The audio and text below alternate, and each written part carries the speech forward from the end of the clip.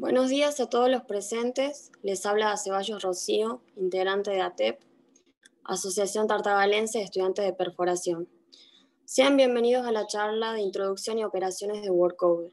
Esta misma generó interés en estudiantes, profesores y profesionales del ambiente interesados en adquirir conocimientos que se brindarán a continuación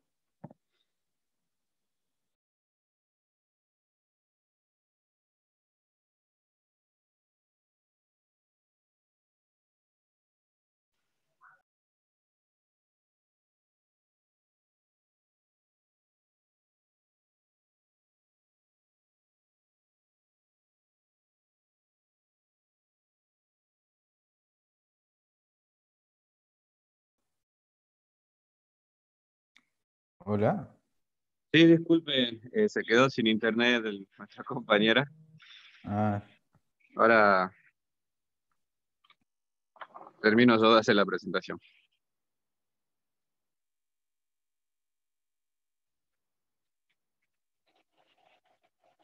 Bueno, como decía mi, mi compañera, bueno, me presento, yo soy Marco Nicolás Pereira, soy eh, vocal general de la asociación. Le quería dar la bienvenida a la charla de Introducción y Operaciones de Workover. Esta misma generó interés, como decía mi compañera, en todo el ambiente universitario y profesional. Entonces recibimos al ingeniero Terraza de Manuel, egresado de Ingeniería en Perforaciones de nuestra querida sede regional, Cartagal, y actualmente se desempeña profesionalmente en el campo de la ingeniería de workover. Cabe destacar un recordatorio. La dinámica sugerida eh, para una mejor organización sería por alguna consulta eh, levantar la mano para darle eh, la autorización a, hacer la pregunta o escribir eh, en el chat para leerlo después. Como usted desee, ingeniero, puede comenzar. Hola, ¿qué tal? Buenos días a todos. Espero que todos hayan amanecido muy bien y, y gracias.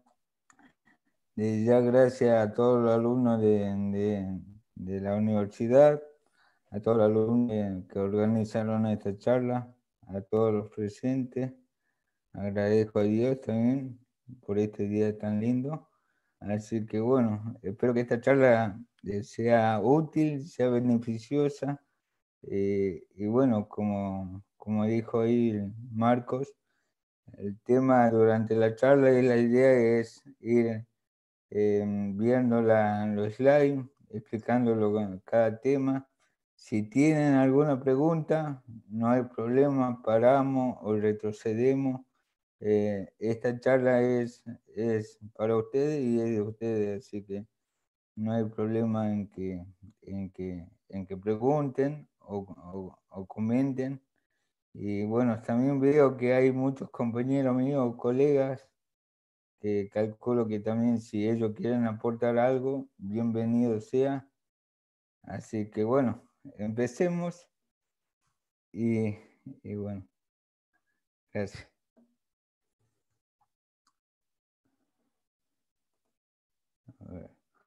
Bueno, vamos a empezar con la primera. Me, todos me escuchan, ¿no? Porque ahí están preguntando. Hola. Sí. Sí, le escuchamos. Bien, bueno, listo. Vamos a empezar con las etapas que, que tiene un pozo. Eh, bueno, inicialmente un pozo o, empieza por la exploración, donde la exploración se hace la investigación y busca búsqueda de hidrocarburos. Una vez que un pozo encuentra un, un, un, horizonte o un yacimiento, un, claro, encuentra petróleo, eh, después hay otros tipos de pozos que también son para el estudio del suelo. Solamente el objetivo es de, de ver qué tipo de roca, cómo están compuestos los, los diferentes eh, suelos que están en, por debajo del terreno. Eh, después hay otros pozos que se hacen de estudios estructurales del suelo. Y bueno, con respecto a la, a la, al interés de hidrocarburos, eh, eh, bueno, empiezan, como dijimos, con un pozo exploratorio.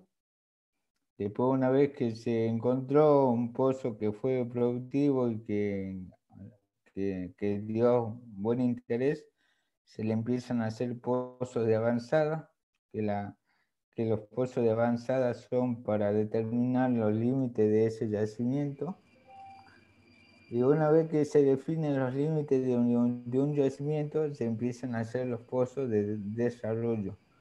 Eso es, ya eh, empiezan a hacer todos los pozos dentro del yacimiento para empezar a explotar todo el, todo el hidrocarburo.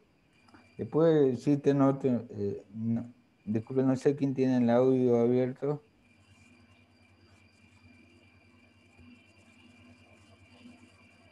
Disculpe.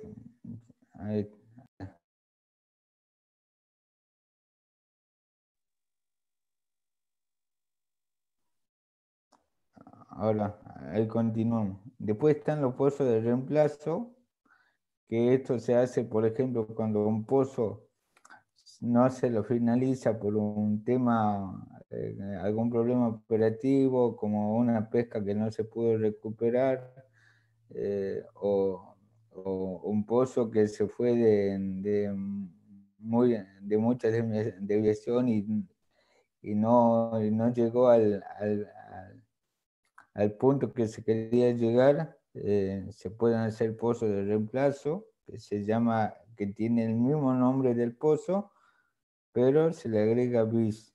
Eh, esto generalmente se hace corriendo 5 metros la bodega o, la distancia que sea necesaria y se hace un, segundo pozo. Y después están los pozos de servicio.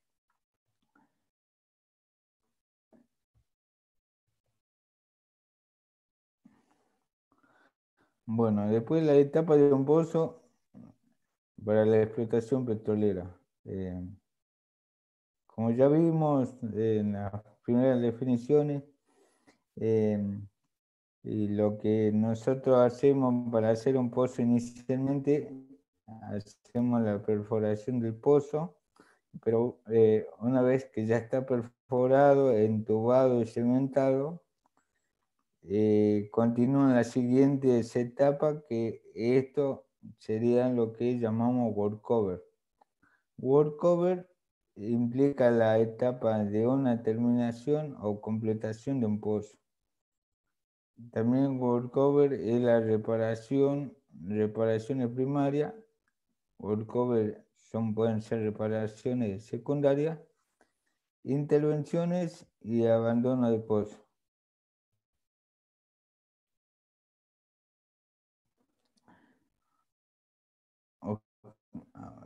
Que vamos, voy a tratar de bajar esta. A ver si veo mejor.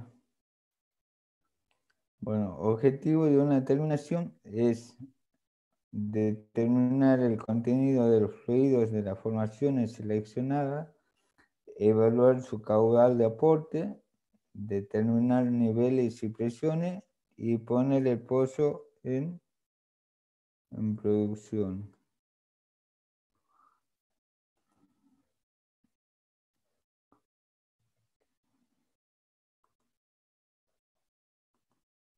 Después, sí.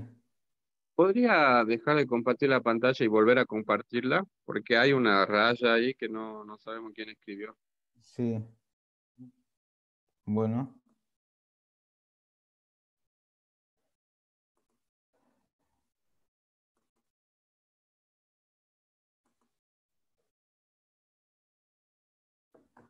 Ahí vamos de nuevo.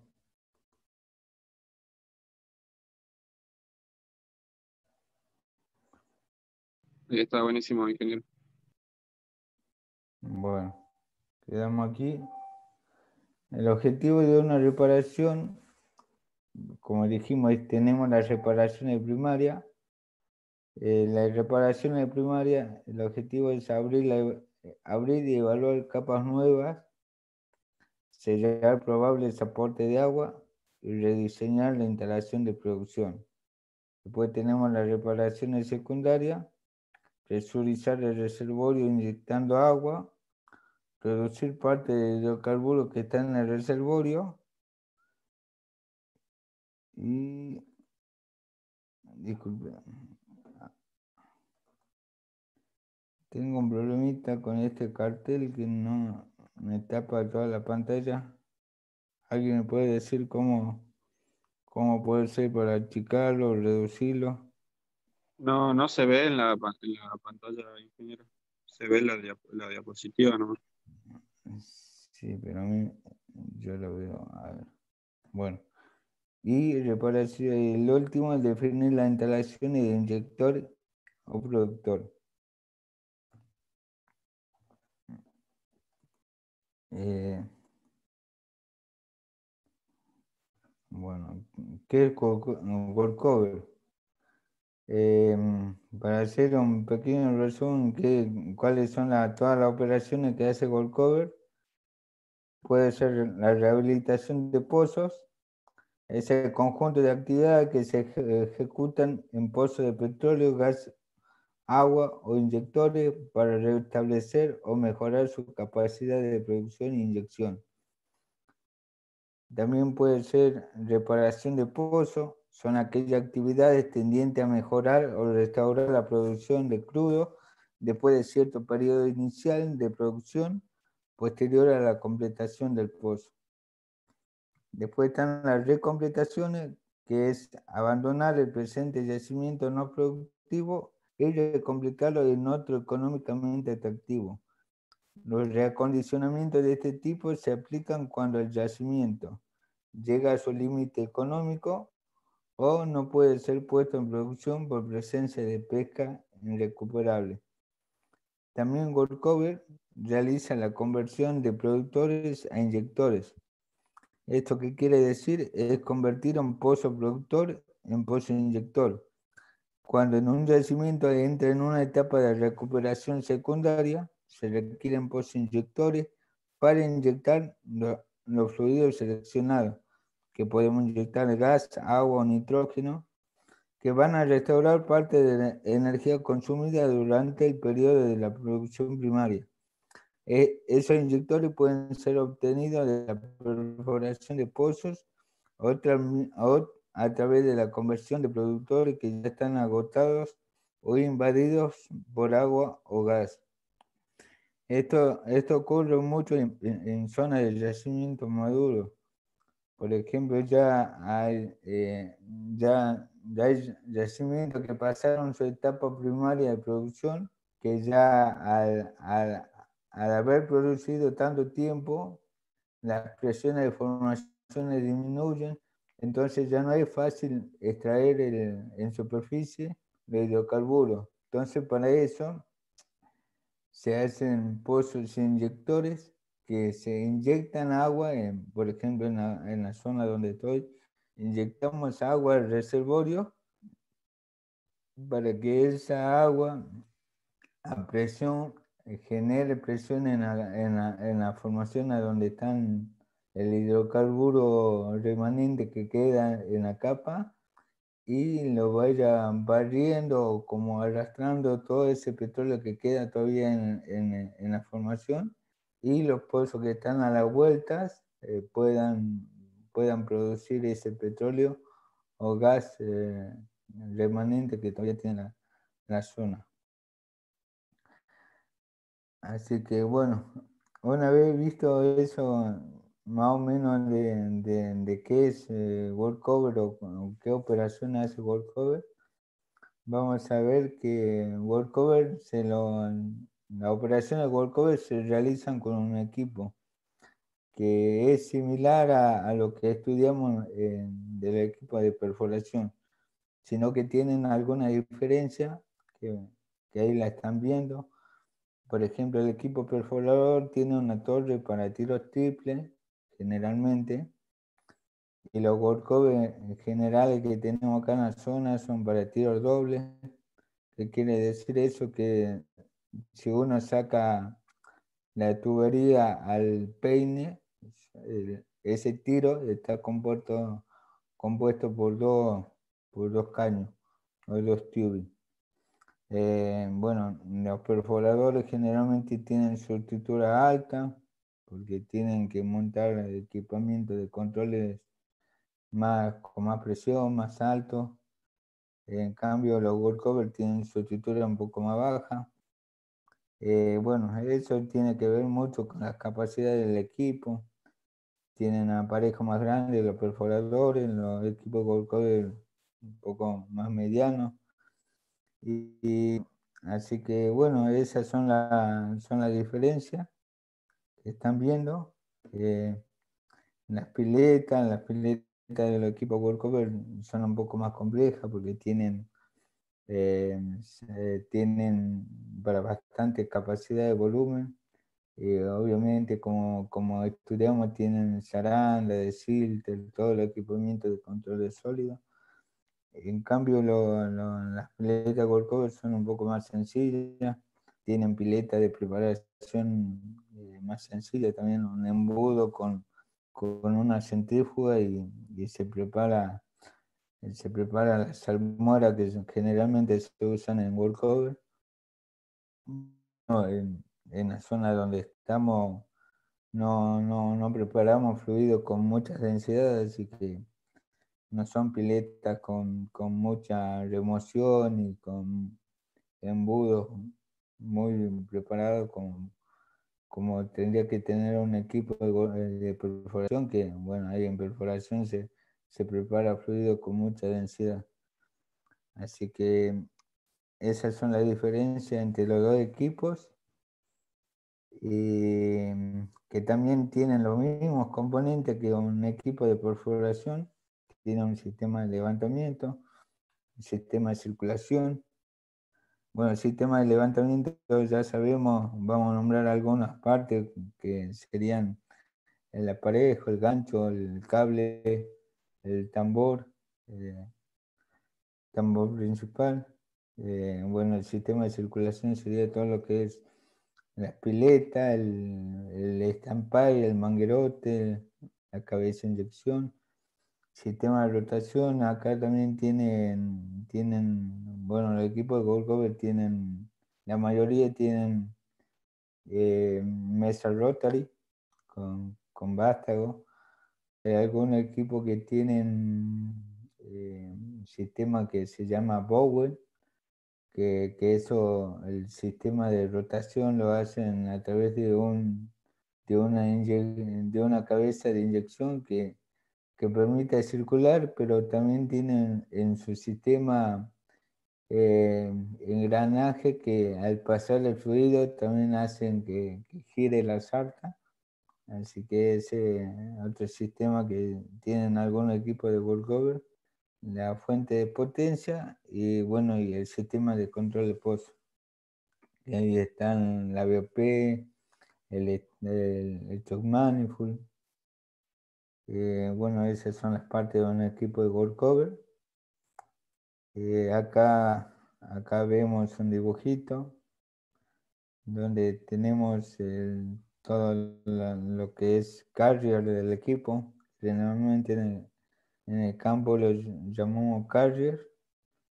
Eh, como ven, son equipos autotransportables tienen una estructura, una planchada, tienen la BOP, tienen cañería de maniobra eh, o, los tubing y, tiene todo casi similar a lo, a, lo, a un equipo de gold cover. Acá la diferencia que tiene dos tambores, uno es el tambor principal a donde está el cable para, para levantar y para subir y bajar el aparejo, para realizar las maniobras. Y después tiene otro tambor de pistoneo, que es un cable más, más fino, que ese sirve para, para, realizar una maniobra que se llama pistoneo de pozo, o para bajar calibres dentro de la tubería, y, y bueno, para hacer una, otras maniobras que se usan en workover que ya la vamos a ver más adelante. Tiene, como vemos, tiene un piso enganche, donde trabaja el enganchador, tiene la máquina, a donde trabaja el maquinista, tienen un piso de trabajo donde trabajan los bocas de pozos. Y bueno, acá en la planchada donde generalmente se colocan los, caños, los tubing o, los, o, la, o la barra de sondeo en algunas operaciones.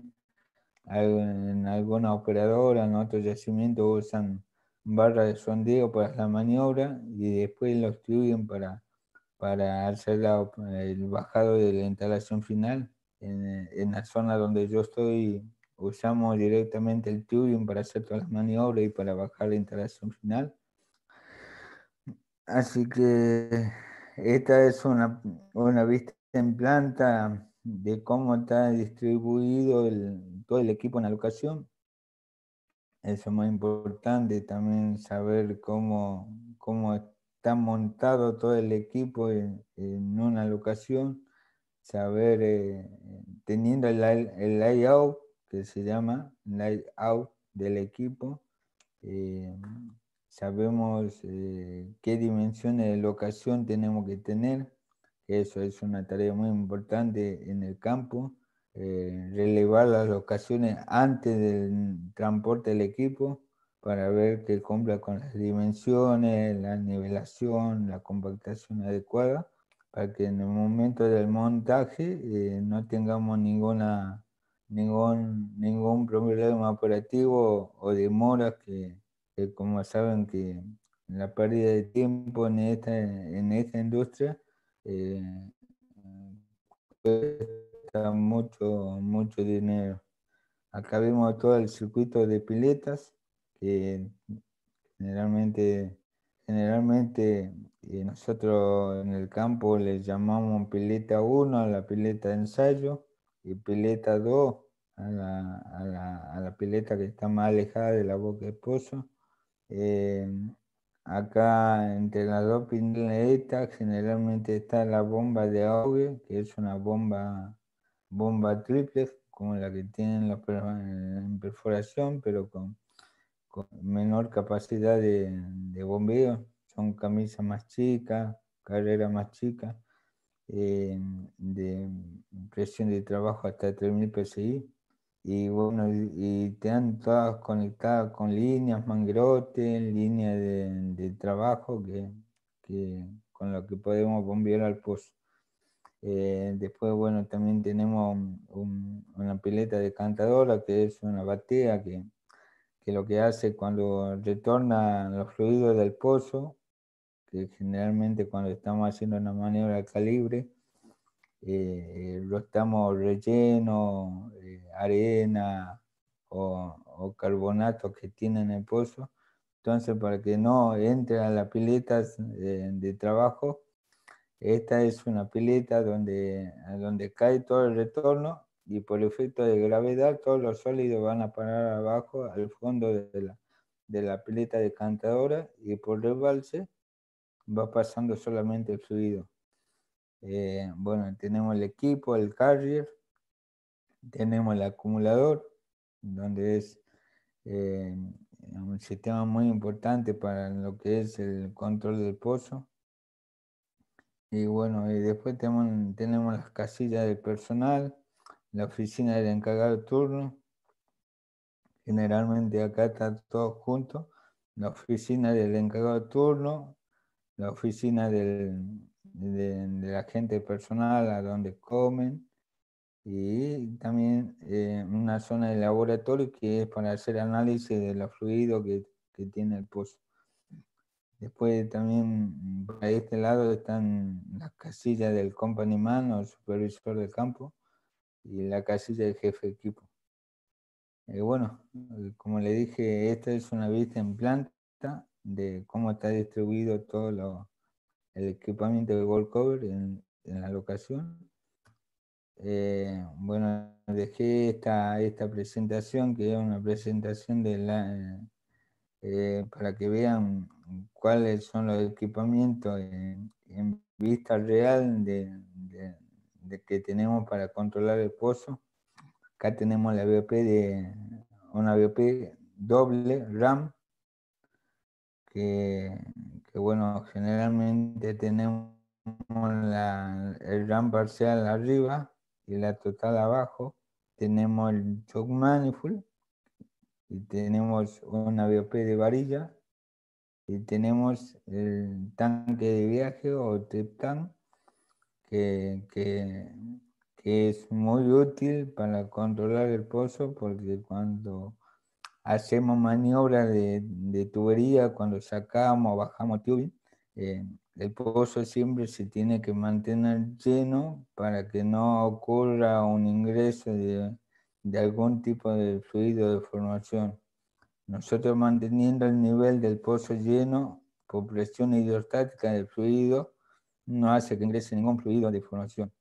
Si dejamos que el nivel del pozo de fluido disminuya, disminuye la presión hidrostática y con eso al disminuir la presión hidrostática podemos llegar a una presión de fondo que esté por debajo de la presión de formación y eso hace que los fluidos de formación ingresen al pozo y empiecen a migrar y bueno, pueda demorar la maniobra y ocurrir lo que, lo que conocemos como que, que es indeseable siempre, y mala palabra, una surgencia de pozo.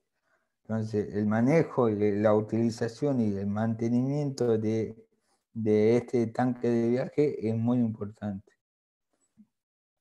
Eh, eh, bueno, vamos a continuar con algunas actividades que hacemos en WorkCover. Eh, como, como, dijimos, los pozos, cuando ya entran en, producción, hay zonas donde el petróleo es muy viscoso, tienen mucha parafina, son petróleos muy, muy pesados entonces se realizan limpieza de, parafina. Que bueno, la, descripción dice la precipitación de parafina en el fondo de pozo o, o la tubería de producción está asociada con la producción de crudo del tipo parafínico. La causa, la disminución de la temperatura del crudo desde el yacimiento hasta la superficie causa desprendimiento de partículas de parafina que se van depositando en el camino de pozo, o sea, en las paredes del, casing o en las paredes del tubing. esto, esto trae como consecuencia el taponamiento de los canales de flujo de la matriz de la roca, reduciendo la entrada de hidrocarburos de la formación al pozo y la precipitación y la adherencia en la tubería de producción, reduciendo su diámetro y afectando la tasa de producción de pozo. En los métodos de limpieza que hay para hacer la limpieza parafina, eh, parafina está, está el método mecánico, que se efectúa bajando dentro de la tubería equipos que provocan el desprendimiento de los depósitos de parafina tales como, bueno, ahí se pueden bajar carrera de fresa o carrera de, trépano, también se puede bajar eh, escariadores por dentro de la tubería, que eso se puede bajar con, con equipo de alambre, de line, o, o, usar también eh, el cable de pistoneo, que bueno, es una operación que que antes mucho se usaba, o se usa, mejor dicho, en pooling, que es otra área, que eso, bueno, estaría bueno hablarlo después en otra presentación. Después están los tipos de limpieza químico, consiste en bombear a través de la tubería de producción un material solvente, como por ejemplo la el queroseno, la gasolina, producto de dispersante, que, disuelven la parafina y depositan en el pozo. también eh, existen tipos de limpieza térmico que consisten en aplicar sustancias calientes como vapor, agua, aire, como medio para hacer más fluida la parafina y así poderla circular hasta la superficie. Por ejemplo, hot. Nosotros, bueno, acá en, en la zona donde trabajo, llamamos hot oil a un equipo que tiene una cisterna de 30 metros cúbicos de, agua, que tiene una, un, serpentín, con temperatura, donde se pasa el agua, la calienta a 80, 90 grados centígrados, y a esa, a esa agua con temperatura la inyectamos al pozo y empieza a, aflojar todo ese petróleo pesado, esa parafina, y circulamos al pozo y es una forma de, limpiar esa parafina.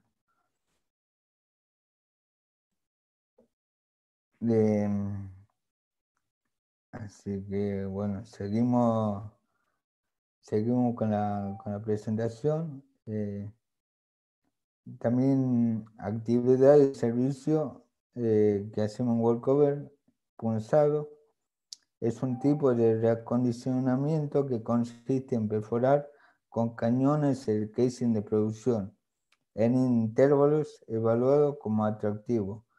El objetivo es perforar el casing de producción en intervalos previamente seleccionados.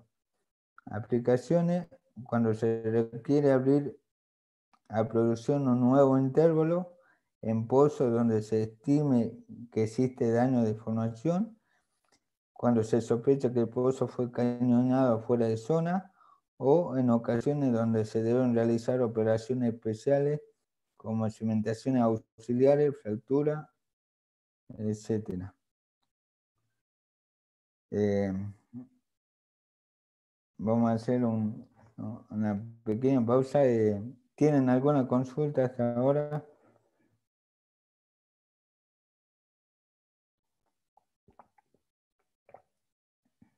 Voy, voy bien, voy muy rápido. ¿Están escuchando bien? Sí, sí Bueno, cualquier cosa me avisan. Es la primera vez que hago una presentación así, me está resultando un poco poco difícil no poder verlo, verlo en la cara, porque generalmente eso es lo que hago cada vez que hago una presentación. Veo la cara de la gente, veo si están entendiendo, si están distraídos, si están prestando atención. Y ahí, en base a eso, voy, voy viendo cómo me voy manejando. Así que espero que estén, que, que vayamos bien. Bueno, seguimos. Eh, vimos punzado. Hay, hay tres formas de realizar un punzado en el pozo. Eh, una, una, es a través de casing, bajando con, un cable, eh, con un wall line, bajando los cañones.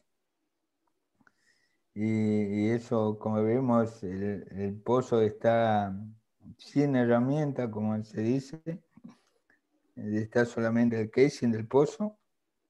Y se pulsa y se, se, abre, digamos, el ingreso de la formación adentro del casing, adentro del pozo. Después otra forma de punzar es a través de, de los tubing, que acá ya no se usa un cañón, un cañón descartable, se usan, se usan listras que son de menor diámetro para que puedan pasar por el interior del tubing y, y como ven también se punza eh, el, casing de producción. Y hay otra operación donde ya directamente se bajan los cañones con, toda la tubería que va a quedar eh, en el pozo para que produzca. Y, bueno, una vez que están en zona, donde ya bajaron toda la instalación, se activan los cañones, se, se, punza el casing y eso inmediatamente eh, entra en producción el pozo, o sea, ya, ya quedaría para, para que produzca el pozo. Esto se hace cuando ya se sabe que un pozo tiene alta presión, sabe que, que tienen buena permeabilidad. O sea, esto se hace cuando ya se sabe que seguramente se punza y, el pozo tiene la suficiente energía para empezar a producir. Eh, acá vamos a ver alguna foto de, algún equipamiento que se usan para punzar. Este, bueno, es el camión guinche de Worldline, que ya lo vamos a ver con más detalle. Tengo, tengo para, para mostrarles una foto más adelante. Esto se llama Staffing Box, que es el empaquetador de cable. Que, que, bueno, el cable de Worldline pasa por el interior de toda esta herramienta. Acá están todo lo que es la del cable, hay un, hay un equipamiento donde el cable después empiezan a venir todas las herramientas. Eso creo que es un CCL, que es una herramienta para, para para, saber a dónde están las coplas del casing. Y después del CCL se pueden armar todos los cañones para punzar o otra herramienta que se usan para, para perfilar el pozo. Como le dije acá, es el CCL, que es un cuenta cupla, eh, que es una herramienta que cuando va profundizando en el pozo, eh, uno lo puede ir viendo en el monitor, hace por una, por, esto genera un campo magnético que cuando ven eh, las uniones de la copla hacen como una, como un pulso, digamos, y se puede determinar a dónde están las coplas. Eh, estos son los componentes del odómetro que bueno, que cuando pasa el cable, eso va, va contabilizando cuántos metros de cable va pasando por el, por, el odómetro, por lo tanto se sabe cuántos metros vamos profundizando dentro del pozo, la herramienta. Eh, bueno, eso obviamente hay que calibrarlo todo cuando, cuando se está por iniciar la operación. Eh, se calibra, se pone en cero eh, después tenemos también para medir las tensiones del cable. Eso sirve mucho para ver cuando está bajando la herramienta. Si se asienta, eh, inmediatamente nosotros vamos a ver una disminución de la tensión del cable, porque la herramienta se va asentando, entonces es como que va perdiendo pie, peso y por lo tanto la tensión del cable disminuye. En cambio, si vamos sacando y vemos que la herramienta eh, choca a algún lugar con restricción, inmediatamente nosotros vamos a ver un aumento de tensión del cable. Entonces, eh, esta medición es, o este parámetro es importante eh, ir viéndolo continuamente porque eso eso ah, eh, no, es eh, un indicio directo de, cómo se está bajando la herramienta en el pozo. Y después tenemos el montaje de lubricadores. Acá vemos el lubricador es necesario en todas las operaciones de Warline en las operaciones de punzado, porque esto es el, el equipamiento que a donde se van a alojar toda la herramienta cuando, por ejemplo, cuando empezamos a una carrera de punzado, se levanta el staffing box, se mete el cañón, y se lo mete al cañón, en ese momento la VAP, el RAM total está cerrado para tener el pozo asegurado. Se mete todo el cañón dentro del lubricador, se enrosca el staffing box una vez que está todo hermético acá en el lubricador, se abre la VP y se empieza a bajar la carrera de punzado. Se baja el cañón, se punza, se recupera el cañón y una vez que se recupera y se aloja dentro del lubricador, se cierra la RAM total y ahí eh, todo el personal de Wildline ya directamente puede ir desarmar ese cañón, sacarlo para armar la siguiente carrera, pero ya con el pozo asegurado. si, tiene, si no tenemos ese lubricador, no hay forma de sacar la herramienta y, tener, y, poder cerrar el pozo con la RAM total. Eh, así que es un elemento muy importante. Y acá eh, vemos eh, cómo son los cañones. Este es un cañón de 4 pulgadas. Estos los puntitos que ven acá son las balas de, disparo del cañón. Bueno, este cañón que se estaba armando acá era de 4 pulgadas, 4 tiros a pie, 90 grados de desfasaje y las cargas son de 32 gramos de explosivo. Generalmente cuando vean eh, vayan al campo van a venir a este tipo de configuración del punzado y eso es lo que también hay que um, controlar o, pedir a la gente de la compañía de servicio que, que punza que ellos, bueno, cada cañón ya viene armado de la, de la, de la base, entonces toda la documentación sale de la base de, cómo fue armado cada cañón. Y bueno, una vez eh, un cañón puede medir eh, un metro y medio, dos metros o tres metros, y los cañones se pueden ir armando eh, uno, uno al lado del otro, y, bueno, se puede hacer hasta, hasta tres disparos, por lo menos en operaciones que, que, yo vi en el campo pudimos hacer carreras triples, hacer tres disparos eh, en una misma bajada de cañón.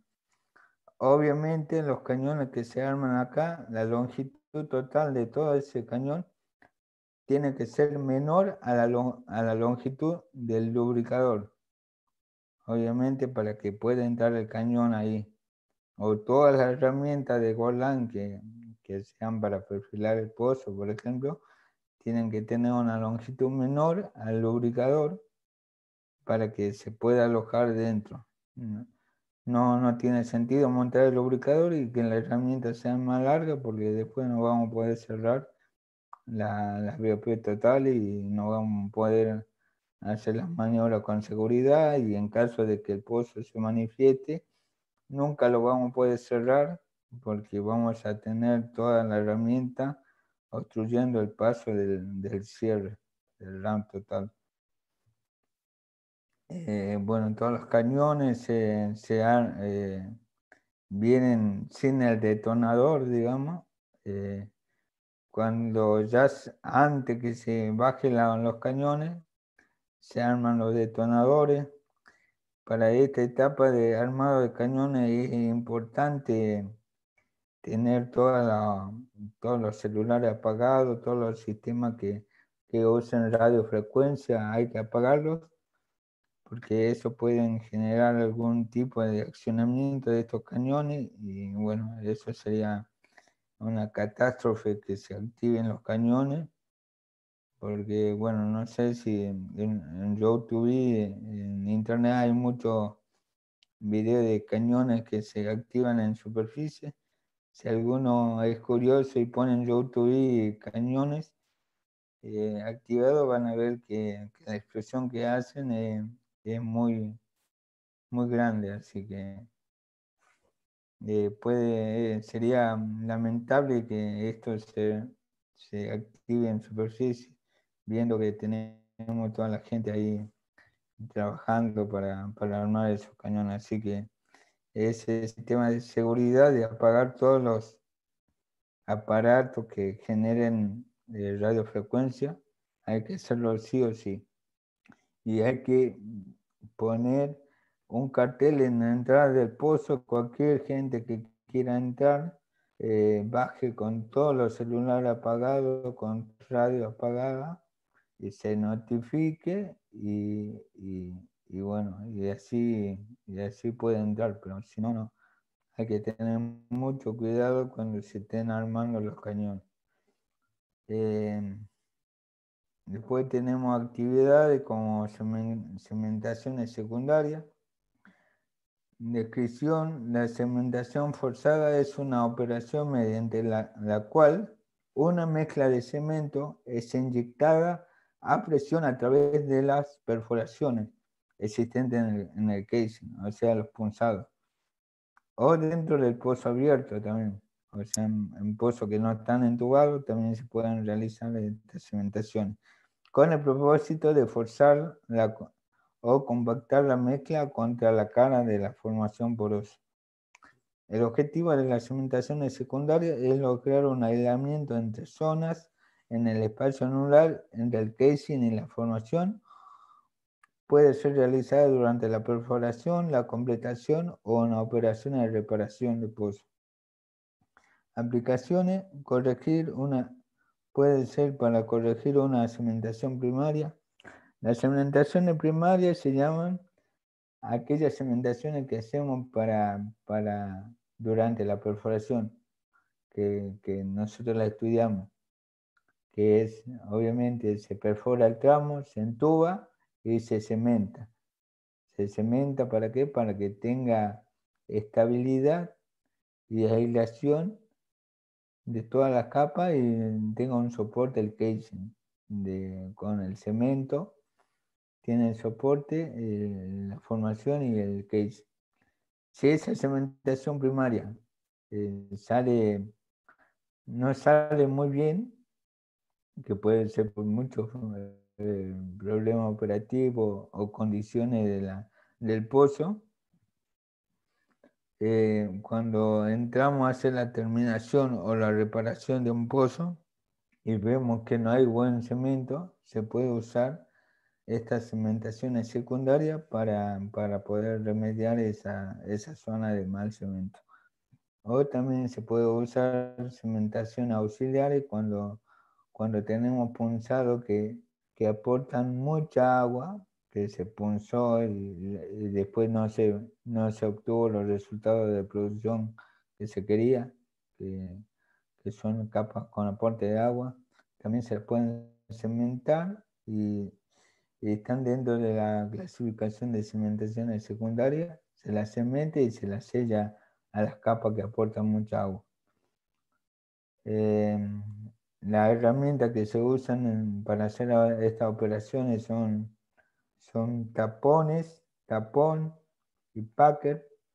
El tapón está compuesto por un pin de pesca, tiene gomas empaquetadoras, tienen eh, unas mordazas y tienen un bloque de arrastre. Esta, esta mordaza, cuando, cuando se la baja a la profundidad, esta herramienta que generalmente va en el fondo de la, de la instalación, eh, se maniobran, se fijan, se aplica peso y las gomas ETA se empaquetan y el tapón queda fijado, anclado al kit y hermético.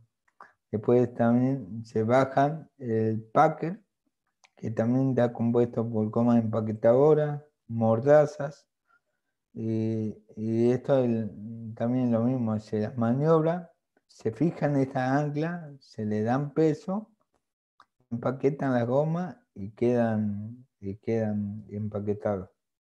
Y se usan herramientas para, hacer la cementación. En, vivo y en directo se, vería así la herramienta.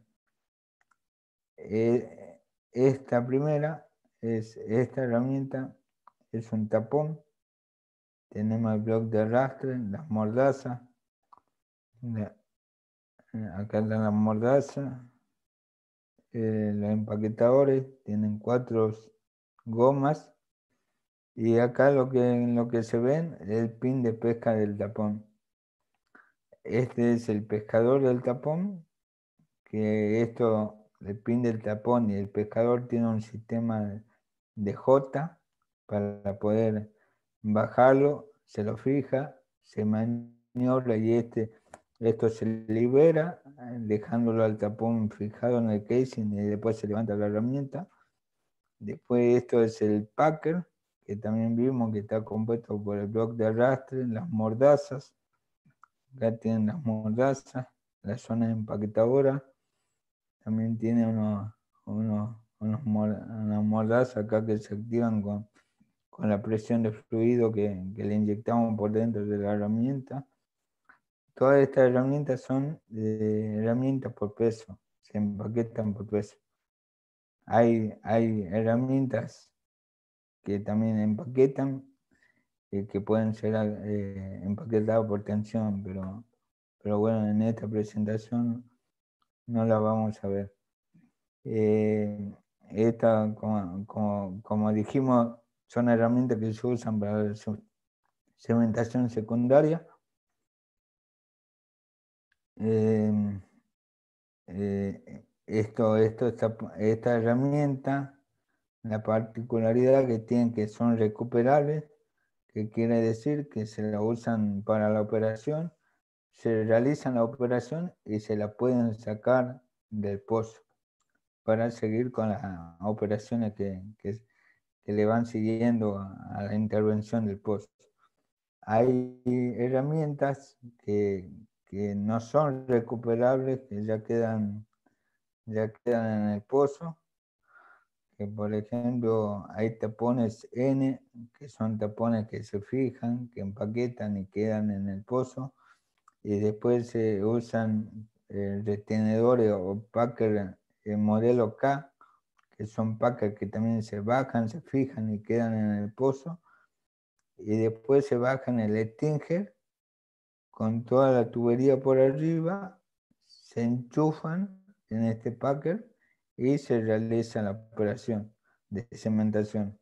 Una vez que se bombea todo el cemento, se termina de desplazar el cemento, se desenchufa el Stinger y esto tiene una válvula de, retención que hace que una vez que se desenchufe, el cemento no pueda volver de nuevo al, o salirse de la formación. Cuando quiera salir, CAC cierra la, la, válvula que tiene de retención y queda todo el cemento en el pozo.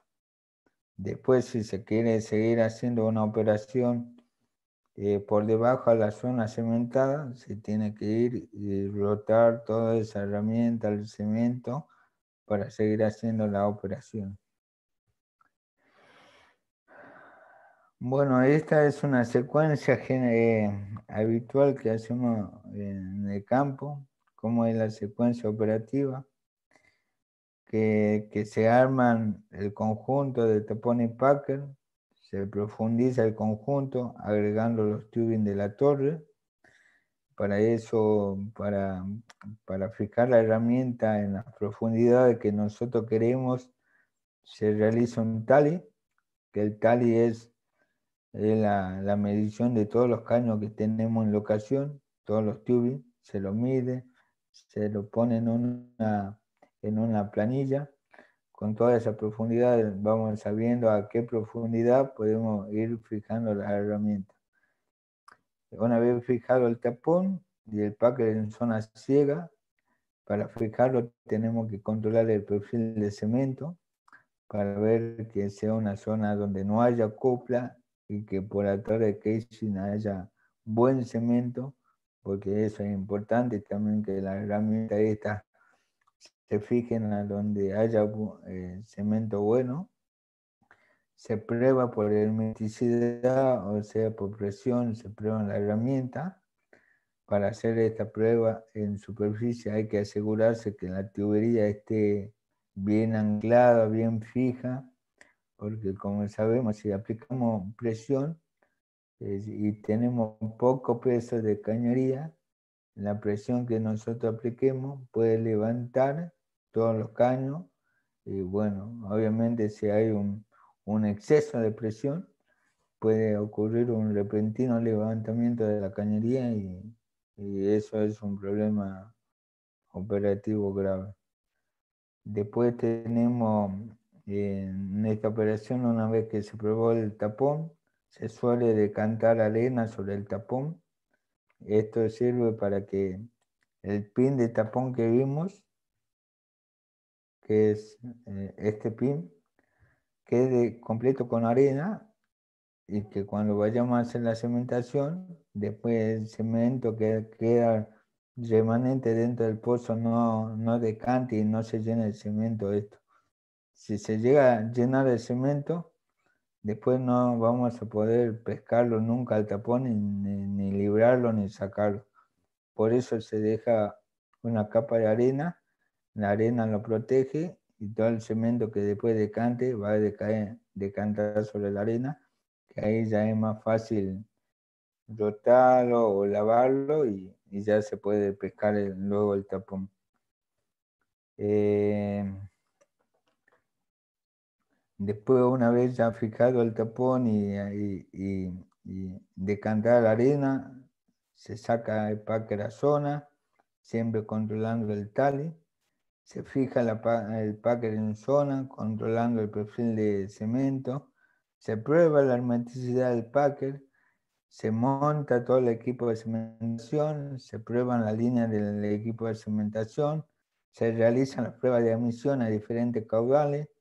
Generalmente los caudales son a, a 0.5 barriles, a un barril por minuto y a, a, a 1.5 barril por minuto. Esas son las pruebas de admisión que se hacen para verificar que los punzados admitan, que es muy importante eso, porque si no admitan no, no, no hay posibilidad de, de inyectar, inyectar el cemento y realizar la operación. Bueno, ahí también con el comportamiento de la inyección y las presiones podemos saber eh, qué cantidad de cemento le vamos a poder inyectar a la, capa.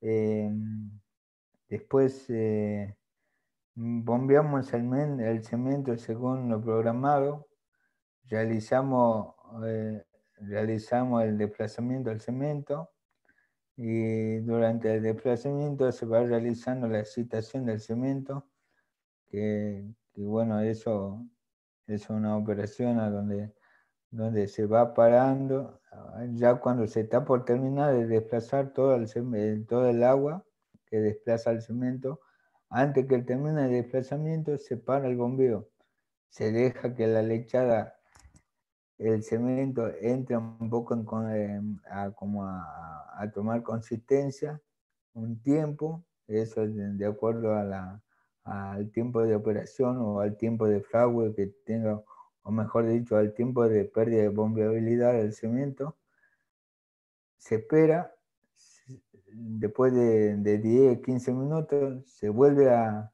bombear otro, otra cantidad X de volumen de agua, eso se va generando que el cemento se vaya deshidratando, se vaya excitando y se vaya generando como un fraude prematuro dentro de la formación para que, para que eso eh, tapone bien los, punzados, se genere, se, genera un buen cemento en, los punzados y, en la cercanía de la, formación y, se genera una buena, un buen aislamiento, digamos, de la capa o del cemento, se genera un buen cemento. Esa es una operación que, que bueno, que eh, todo esto, aprender y analizar una buena operación eh, puede, puede llevarnos otro día más de, presentación, que después si están interesados lo podemos programar para otro, para otro momento. Eh, después de realizar la excitación, se libran el packer, se, se circula por inversa, o sea, se circula por, el espacio anular y se, retorna por la directa del tubing para sacar todo el residuo de cemento que haya quedado, que no haya entrado a, los punzados. Se espera fragua de cemento y se saca el packer a superficie con, precaución por no generar, generar un pistoneo. Se saca el packer siempre completando la, llenando el pozo con el triptán. Después se rota el cemento, se lava la arena que había quedado por arriba del pin de tapón y luego se pesca, se pesca el tapón y se saca a superficie. Estos son los equipamientos que se usan para la cementación. Un camión cementador que está compuesto por dos bombas con camisa de 4 y media pulgadas o 3 y media pulgadas, un tanque de mezcla, mixer de 7 barriles, un tanque de 20 barriles que están al otro lado, dos tanques de desplazamiento de 10 barriles cada una, una bomba centrífuga que se usa para, para mezclar el cemento o para, o para pasarlo el cemento, el agua de un, de un, de un tanque a otro, una bomba de centrífuga también de 4x3, el bulk, que es esto, donde se lleva el cemento ya con la composición adecuada, digamos, de, la mezcla de cemento, y la cisterna, que es, que bueno, no está en esta foto, que es un cisterna, un, un tanque grande que generalmente se lleva agua, agua limpia, agua dulce. Para preparar el cemento tiene que ser agua limpia, agua dulce. Eh, eh, así que, bueno, esa es la parte del equipamiento de, un equipo de cementación eh, secundario. Así que bueno, ¿alguna pregunta hasta ahí?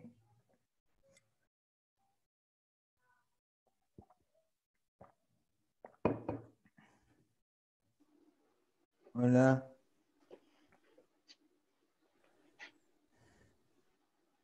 Sí, el equipo eh, cementador, ¿a qué, ¿a qué presión bombea? ¿Cómo es este, el tema de las emboladas? Eh, mira, eh, si no mal recuerdo, esto, todos son equipamientos de, de 15.000. Las líneas, todos son líneas de 15.000 PSI. Pero vos tenés que ver cuál es tu de menor capacidad de presión que tenés en todo el recorrido de, tu, de, tu pozo.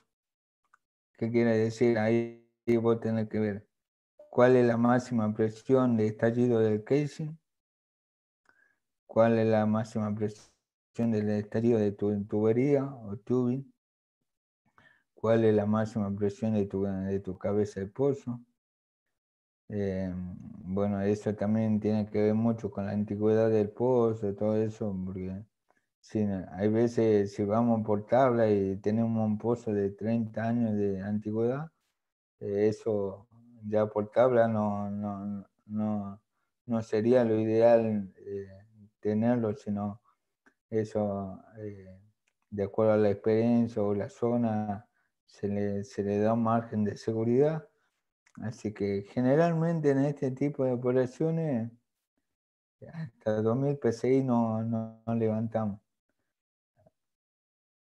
Por más que tengamos todos 15.000 y... Emanuel. Sí. Emanuel, ¿qué tal? Daniel Villagrán te habla. No sé si me recordás. Alguna vez estuvimos juntos en cementación por Comodoro. Hola, ¿qué este, tal? ¿Cómo le va? ¿Cómo anda, Changuito? Mira, ahí te quiero dar una, a lo que preguntaba tu compañero. Por favor. Puedo dar una, ayudita ahí. Bueno, ya alguna vez dicté la charla de cementación.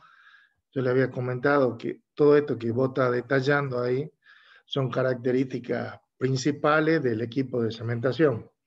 Respondiendo la, la pregunta que, que, te hacía tu, el colega ahí, esas son las características de lo que vos pusiste, dos bombas, cuatro y medio, con pistones cuatro y medio, tres y media, que eso nos van a definir la máxima presión o el máximo caudal.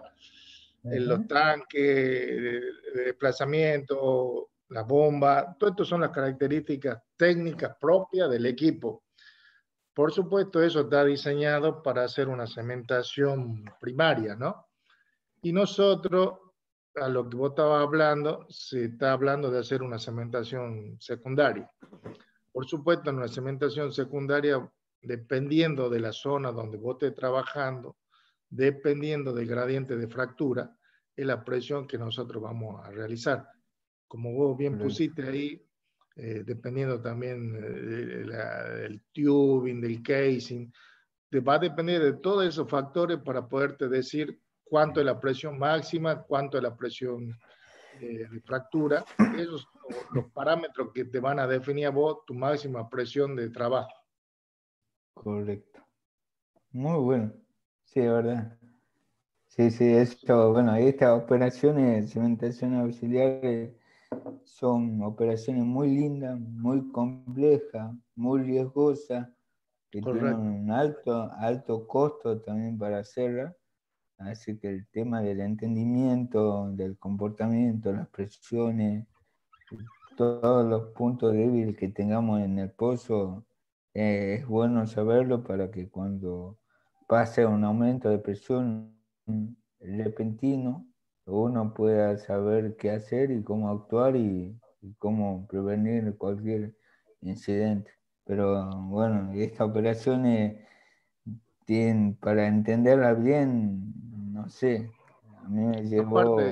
son operaciones eh, muy riesgosas. Vos, Manuel, ya tuviste ahí en Comodoro. Este, son operaciones muy riesgosas en el cual desde el momento que vos haces la prueba de admisión, a veces te puede llevar hasta un día esa cementación. ¿Por qué? Porque vos haces una prueba, no te admite o, es muy poco lo que te admite y cuando bombeaste todo el cemento tenés un riesgo muy grande que vos tenés que hacer un estimado de cuánto cemento vas a bombear porque no te podés quedar con cemento dentro del caño, si no te va, va a cementar toda la, todo el, el tubing, ¿no? Entonces vos tenés que hacer un estimado de cemento que vos estimás de acuerdo a tu prueba de admisión para poder sacar ese cemento del caño y una vez que estés fuera del packer, digamos, con el desplazamiento, comenzar la excitación. Porque es muy complicado que vos agarres digas, bueno, voy a mandar 30 barriles de cemento y solamente te admite 10, ¿qué hace con los 20 barriles que te quedan dentro de un tubing, no? Entonces son, son operaciones bastante, bastante complicadas y que hay que tener en cuenta todos los, todos los parámetros, estos, aparte de los parámetros de presión que estabas mencionando, los parámetros de inyectividad, eh, los parámetros de fractura y los parámetros operativos sobre todo, ¿no? Eso nomás más o menos lo que quería aportar un poquito. Perfecto, Daniel. Dale, Viquito. Ah, sí, muy bueno. Gracias, la parte. Dale, dale. Así que bueno, esta también, otra operación muy importante, eh, que son las fracturas hidráulicas. Que la descripción es ese proceso de bombeo de fluido a alto caudal y a alta presión con el objetivo de romper la formación para inyectar a través de los punzados el agente apuntalante o agente de sostén, que también se lo conoce, para evitar que la fractura se cierre. El objetivo de esta fractura son conectar la formación con el pozo a través de un canal de alta conductividad, aumentar el área de contacto e incrementar los caudales de gas o petróleo en un reservorio de baja permeabilidad. Aplicaciones cambiar la geometría del flujo generando un caudal generalmente vertical altamente conductivo lejos del pozo. Sin la fractura, el flujo converge hasta la circunferencia del pozo. Después de la fractura, el flujo converge hasta toda la cara de la fractura, por lo cual el área del flujo incrementa notablemente. Eh, bueno, básicamente la, ya conocerán Vaca Muerta, toda esa zona se fractura mucho porque son, eh, ahí se, hablando un poco, no sé mucho de las operaciones que se realizan ahí, pero bueno, eh, las operaciones de fractura son muy importantes ahí porque ¿qué es lo que pasa? Vaca Muerta es una, una roca madre como sabemos la roca madre es una generadora de petróleo o, generadora de hidrocarburos. Que si es la generadora, obviamente tiene hidrocarburos dentro de ella. Pero ¿qué es lo que pasa? Una característica principal de la roca madre es que son de baja permeabilidad. Eh, entonces, para producir esas capas, se las fractura, se generan canales canales de conducción, que a esos canales, después de generarlo, se le bombea arena para que esos arena entre dentro de, esos canales y no se cierren. Entonces sí, la, la, formación pasa a tener una baja permeabilidad a una alta o considerable permeabilidad para que pueda fluir el petróleo o el hidrocarburo contenido en su, en su, en su matriz y así pueda producir el pozo. Em, bueno, esto es alguna foto, algunas características principales de los que se usan. Este es el blender. Em,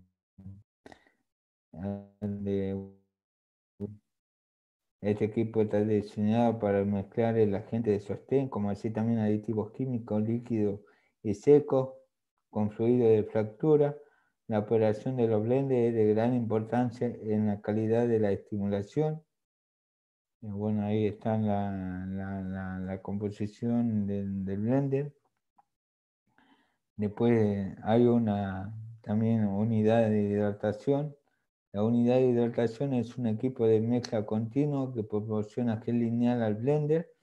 El sistema mezcla continuamente gel concentrado o polímero seco el agua de fractura y su aditivo puede ser usado para transportar el polímero y los aditivos líquidos.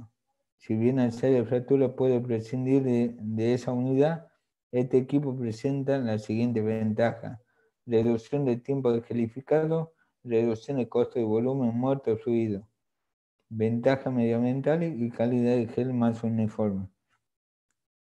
Esto lo, vamos a ver más, adelante un poquito, se lo voy a explicar un poquito mejor.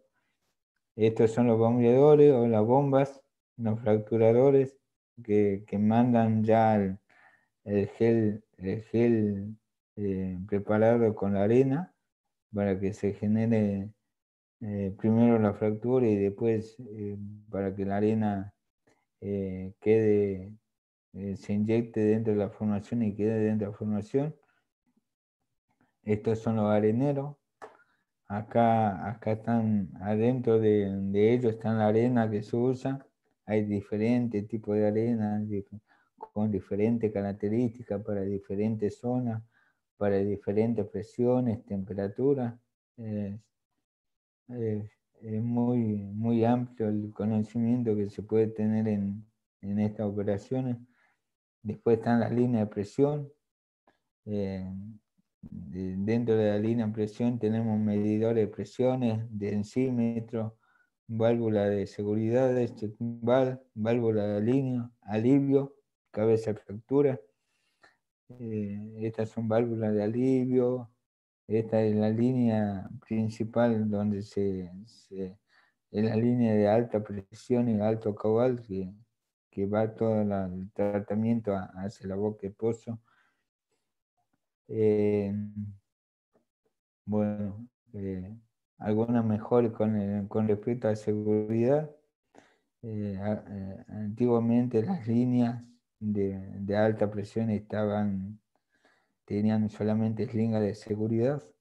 En caso que, haya algún, alguna desvinculación, estas slingas evitan el, eviten el, el desprendimiento brusco de la línea, pero bueno, se mejoró el sistema por este sistema de, de continuos que abrazan todo el caño y van abrazando por todo por toda la línea, digamos, y no es solamente en esta parte donde se, vinculan cada, cada trozo. Eh, Después están el manifold. Bueno, estos generalmente se usan en operaciones no convencionales, donde están viendo acá, todo esto son eh, los bombeadores. Eh, en estas operaciones, como se tienen que bombear mucha cantidad de arena, altos caudales, a altas presiones, se usan muchos, muchos bombeadores que eso cada bombeador tiene que ir, eh, se acoplan a un manifold y ese, todos esos caudales, todo esa, ese tratamiento se une y se manda, se manda al pozo.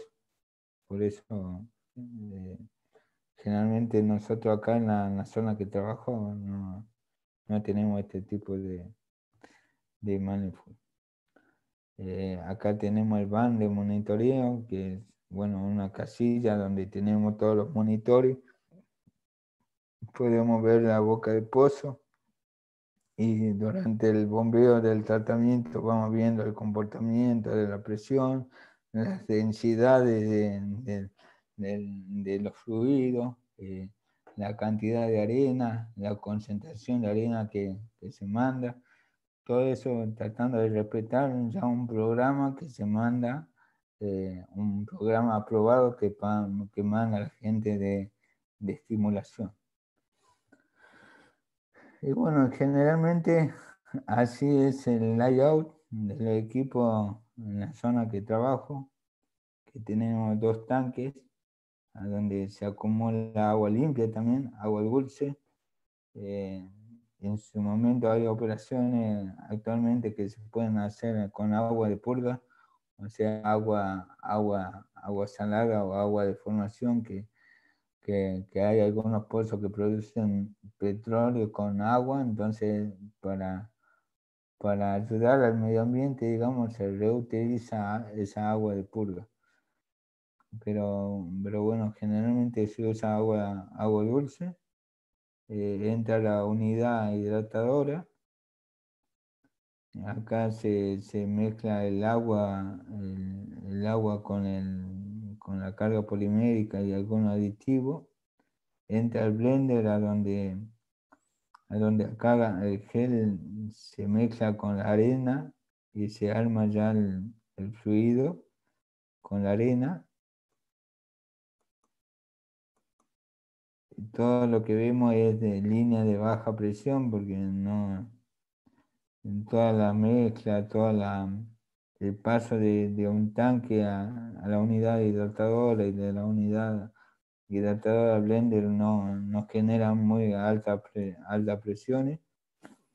Eh, después del manifold van a los bombeadores y los bombeadores son los que generan que todo ese tratamiento, toda esa mezcla vaya a altos caudales y altas presiones al pozo. Y bueno, como vimos, el PAM está conectado con cada sensor que tienen en la línea, en, los mezcladores, en, el mixer. Vamos, vamos leyendo caudales, densidades, presiones, todos los parámetros que nos sirven para, poder controlar la operación. Esto sería, bueno, eh, la foto de cómo están armados el equipo. Acá está el blender, acá están las bombas. Todos estos manguerotes son, lo que ven como manguerotes se usan, serían las líneas de baja presión.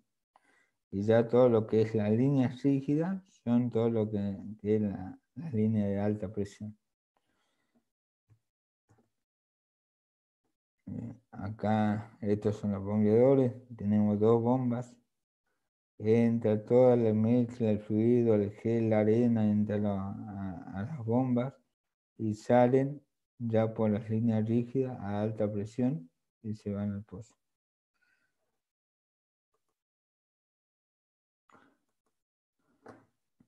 Así que bueno, eso sería fractura.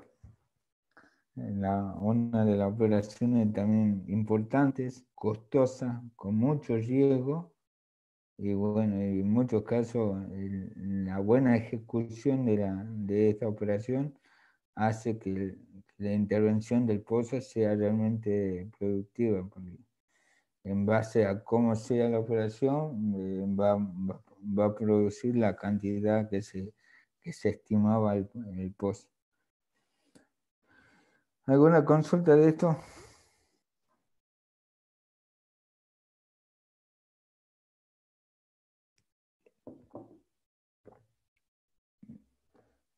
¿Estamos bien? Veo que se ocupan muchos camiones cementadores. ¿Hay algún límite o alguna condición para ocupar a, a, tantos?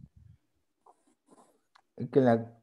Sí, o sea, lo que yo sé, si hay alguien de estimulación que esté viendo, estaría bueno que. Pero lo que yo sé es que la cantidad de, de camiones es en base a la, a la, digamos, al tratamiento o las presiones de que vos necesitas para romper eh, la formación y que entre esa arena a, la formación. Entonces, ahí Sí. puedo dar una ayudita? Ahí está. Bien, Dani. bueno, más o menos. Primero, decirle a los muchachos, a los muchachos preguntó, eso no son cementadores, son fracturadores. No, perdón, eh, son fracturadores. Eh, y vos habías pasado un slide, si le podés retornar unos dos o tres slides atrás, cuando empecé a hablar de fracturamiento, lo principal, porque el muchacho, a ver, pasar un poquito más atrás, porque el muchacho pregunta la cantidad de, de, de, camiones que vamos a llevar. Hay una formulita que vos pones ahí que dice ah. que la, los HP es igual, a, exactamente ahí, los HHP es la presión por el caudal dividido 40.8. Entonces, cuando nosotros vamos a hacer una fractura, lo primero que necesitamos saber cuánto HHP vamos a necesitar, porque te van a decir la presión tuya es eh, de, de 5.000 PSI y va a bombear 10 barriles por minuto, 20 barriles por minuto. Eso más o menos ya me da una idea con cuántos camiones yo voy a ir. Eso es lo que te define un poco la, la fractura, ¿no? Esa formulita que está ahí, donde P es la presión en PSI, Q es el caudal, ¿no? En barriles por minuto, y dividido 40.8, que es una constante, ¿no? Entonces, la cantidad de camiones va, va a ser este, de acuerdo a la fractura que vos vayas a tener. Es decir, que en la zona hay fractura, por ejemplo, no, en Comodoro, que llevan dos, tres, tres bombeadores, y hay un fracturador en vaca muerta, como que llevan 10 fracturadores. O sea que esa es la, la, respuesta, creo que esa es la respuesta a tu pregunta, ¿no? Sí, Dani. Sí, entendido. Bien, repasando.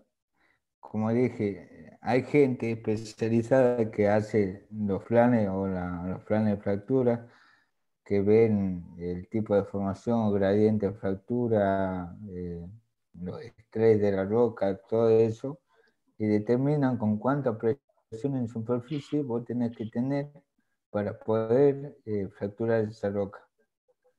Y a qué caudal tenés que bombearlo para que se abra esa fractura, se genere el, volumen de fractura que, como, como dicen ellos, entonces vos teniendo ese, esos dos parámetros, a qué presión querés llegar máxima a levantar y a qué caudal querés poner el tratamiento, dividido a la constante, ya sabes cuánto fracturador va a llevar, porque cada fracturador, eh, no sé, tiene X, HHP, entonces vos haces los HHP totales dividido a al HCP que tiene cada fracturador y ahí ya saber la cantidad de fracturadores que tiene que llevar al pozo. Más o menos estamos hablando de 1000 HP por camión, un estimado. Bien ahí. Así que bueno, desde Dani. ¿A dónde estás viviendo así? Hacemos un asado, ¿te debo un asado? Ah, me debe un asado acá en Tartagal, estoy, volví a la Tierra Santa. Ah, bien. bien. Gracias. Aquí hacía mucho frío allá cuando nos encontrábamos. Sí. Ahora no sabe está hermosa. Después nos comunicamos. Dale, dale. teléfono. Dale. Así que bueno. Después, bueno, vamos a hablar, vamos a seguir hablando de, de hay, hay pozos que se hacen conversiones de productor a inyectores. esto pasa cuando un yacimiento entra en una etapa de la recuperación secundaria. Se requieren pozos inyectores para inyectar los fluidos seleccionados, que pueden inyectarse gas, agua, nitrógeno. En caso de la zona donde estoy, inyectamos agua y polímero, que es ya ya es una, eh, cuando se inyecta polímero ya entra a una etapa de, de recuperación terciaria, que es otro tema, que van a restaurar parte de la energía consumida durante el periodo de la producción primaria. El objetivo es convertir un pozo productor a un pozo inyector.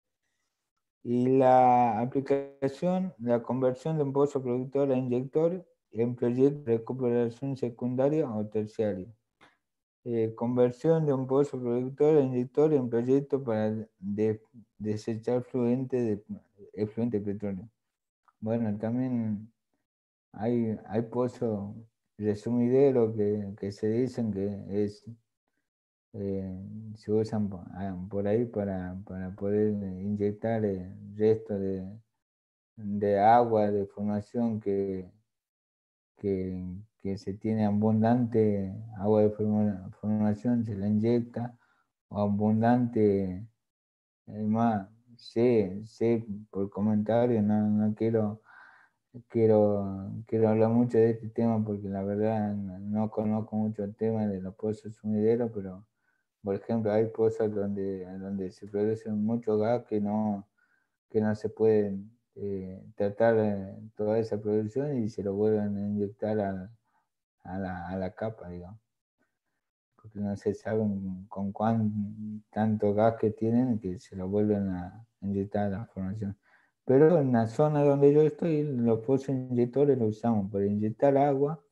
Esa agua eh, que es inyectada a la formación genera una presión o va barriendo, digamos, a todas las gotitas de petróleo, todas las gotitas de gas que quedan todavía como, como pegadas en, en las paredes de la formación y eso lo va acarreando y va haciendo que un pozo que esté al lado de un pozo inyector eh, eh, estén conectados a las capas, digamos, porque Obviamente es eh, importante que, los punzados eh, de un pozo inyector eh, esté conectado con el punzado de un pozo productor.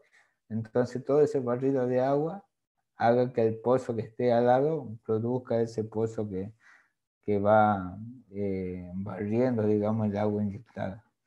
Entonces eso pasa en pozo, en yacimiento con que maduros, que ya han bajado mucho su presión de, formación, entonces se necesita inyectarle una energía extra para que eh, todo ese petróleo eh, siga, siga produciéndose. Eh, de completación. Una de las prácticas de completación de pozo con, con varios horizontes petrolíferos es completarlo y producirlo inicialmente en el yacimiento más profundo. Una vez que se llega al límite económico de producción, recompletarlo en otro horizonte petrolífero. Objetivo, abandonar el presente yacimiento no productivo y recompletarlo en otro económicamente atractivo. Aplicaciones, los acondicionamientos de este tipo se aplican cuando el yacimiento llega a su límite económico o no puede ser puesto en producción por presencia de una pesca irrecuperable. Después tenemos aislamiento de zonas productivas. Este trabajo de reacondicionamiento conduce a separar mediante herramientas con empaquetadora de diferentes zonas. Bueno, esto ya eh, lo vamos a ver más adelante, que quiero llegar a unas animaciones, a donde es mejor eh, para que no se haga muy, muy tediosa esta presentación, muy charlada. Quiero que veamos animaciones para que entiendan mejor. Tapones de cementos. Eh, bueno, siempre, obviamente, en todas las operaciones que, que, realizamos en en el pozo, la seguridad es importante los elementos de protección personal, los EPP, es muy importante que lo, que lo tengan todo el equipo de trabajo y que lo usen adecuadamente. Que bueno, están compuestos por casco, botines de seguridad, ropa de trabajo, los mamelucos ignífugos, anteojos, antiparas de seguridad para el día o para la noche, arnés de protección personal, protector auditivo, cola de amarre, guantes, máscaras, mamelucos, interna antiposible, máscara para gases. Bueno, estos son algunos elementos de protección personal. Pero como le dije, es muy importante que durante todas las operaciones que vimos, toda la gente tenga puesto su elemento de protección personal. Eh, así que bueno, acá llegamos un poco a la, parte de las animaciones. Vamos a ver, por ejemplo, un programa de terminación, qué es lo que pasa o qué es lo que se va haciendo en el pozo. Como vimos, perforación nos deja un pozo así. Bueno, este, esto es en base a, a los pozos que tenemos en la zona. Tenemos un tramo guía, un zapato guía, una cañería. Generalmente esta cañería es de 9 5 octavos. Y después tenemos un tramo que es la helación o la parte del casing de producción, que generalmente es un casing de 5 y media pulgadas. Tenemos el zapato y tenemos el collar y obviamente eh, están entubados y cementados. Cada, cada tramo está cementado. Eso es lo que nos entrega eh, perforación.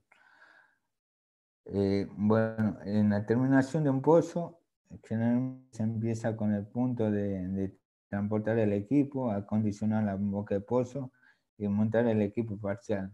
Quiere decir que montamos las piletas, eh, el acumulador, los tanques, de, los tanques gasoil, todo lo que es eh, los periféricos. Después se eh, prueba los equipamientos de control de pozo, las líneas, todo lo, que son las líneas de alta presión del equipo y se descomprime el pozo. Generalmente, obviamente, como acá el pozo está cegado, no, no está punzado nada, así que no, una vez que controlemos el pozo, que logramos el pozo, no tendría que haber eh, nada de presión. Y se monta el mástil. Después, una vez montado el mástil, se atraca la subestructura y se prueba la BOP offline. Probar la BOP offline es una técnica que se estaba, ah, que, es probar la BOP eh, fuera del pozo, digamos. Generalmente acá en la zona se probaba la BOP montada en la cabeza del pozo pero ahora eh, eh, se están haciendo todas las, pruebas eh, de la BOP fuera del pozo. Eso optimiza mucho los tiempos y es mucho mejor hacer las pruebas fuera del pozo. y empezamos con la etapa de calibrado del pozo. La etapa de calibrado del pozo se usa una fresa, que, se puede usar una fresa o un portamecha, que bueno, acá en las terminaciones, por ahí, para ahorrar costo, eh, no se podría hacer esta, esta maniobra. ¿Por qué? Porque sabemos que es un pozo recién eh, perforado, eh, recién hecho, por lo, por, lo, cual no, no, no tendría que tener ninguna obstrucción dentro del pozo. Pero bueno, por, por, por seguridad alguna vez, porque porque como vimos acá, acá después va a ser perfilar el pozo. Es conveniente también calibrar el pozo porque también por ahí puede quedar algunos rastros de cemento pegados en el casing que hayan quedado después de la, de la, de la cementación de la aislación. Entonces se calibra y se saca la, la fresa o también se puede calibrar con un trépano. Después calibrado el pozo, se perfila el pozo. Se hace un perfil de cemento. Se baja una sonda, una herramienta con, el cable de line se la baja y se va realizando el perfil de cemento. Una vez realizado el perfil de cemento, eso nos sirve mucho para, para, para para hacer el punzado, porque el perfil de cemento, ya lo vamos a ver en, otra presentación, nos indica la, la, zona si está bien cementada. Obviamente, si no hay buen cemento no podemos punzar esa zona. porque el cemento hace que, que la integridad de esa zona sea buena y si yo punzo y empieza a producir la capa, todo los fluidos en vez de, de, entrar al pozo se vaya a otra, a otra capa, a otra zona, o, o se pueda filtrar hasta llegar en superficie y llegar a, a filtrarse por una zona que, que, no tenga casing y eso sería muy, muy grave. Entonces siempre tiene que haber un buen cemento para punzar y hacerla producir a esa capa. Después, eh, como dijimos, eh, después del perfil de cemento se bajan los cañones eh, y, y, de acuerdo al perfil de cemento se va correlacionando con el perfil de, de abierto. El perfil abierto se perfila cuando, cuando se perfora el pozo.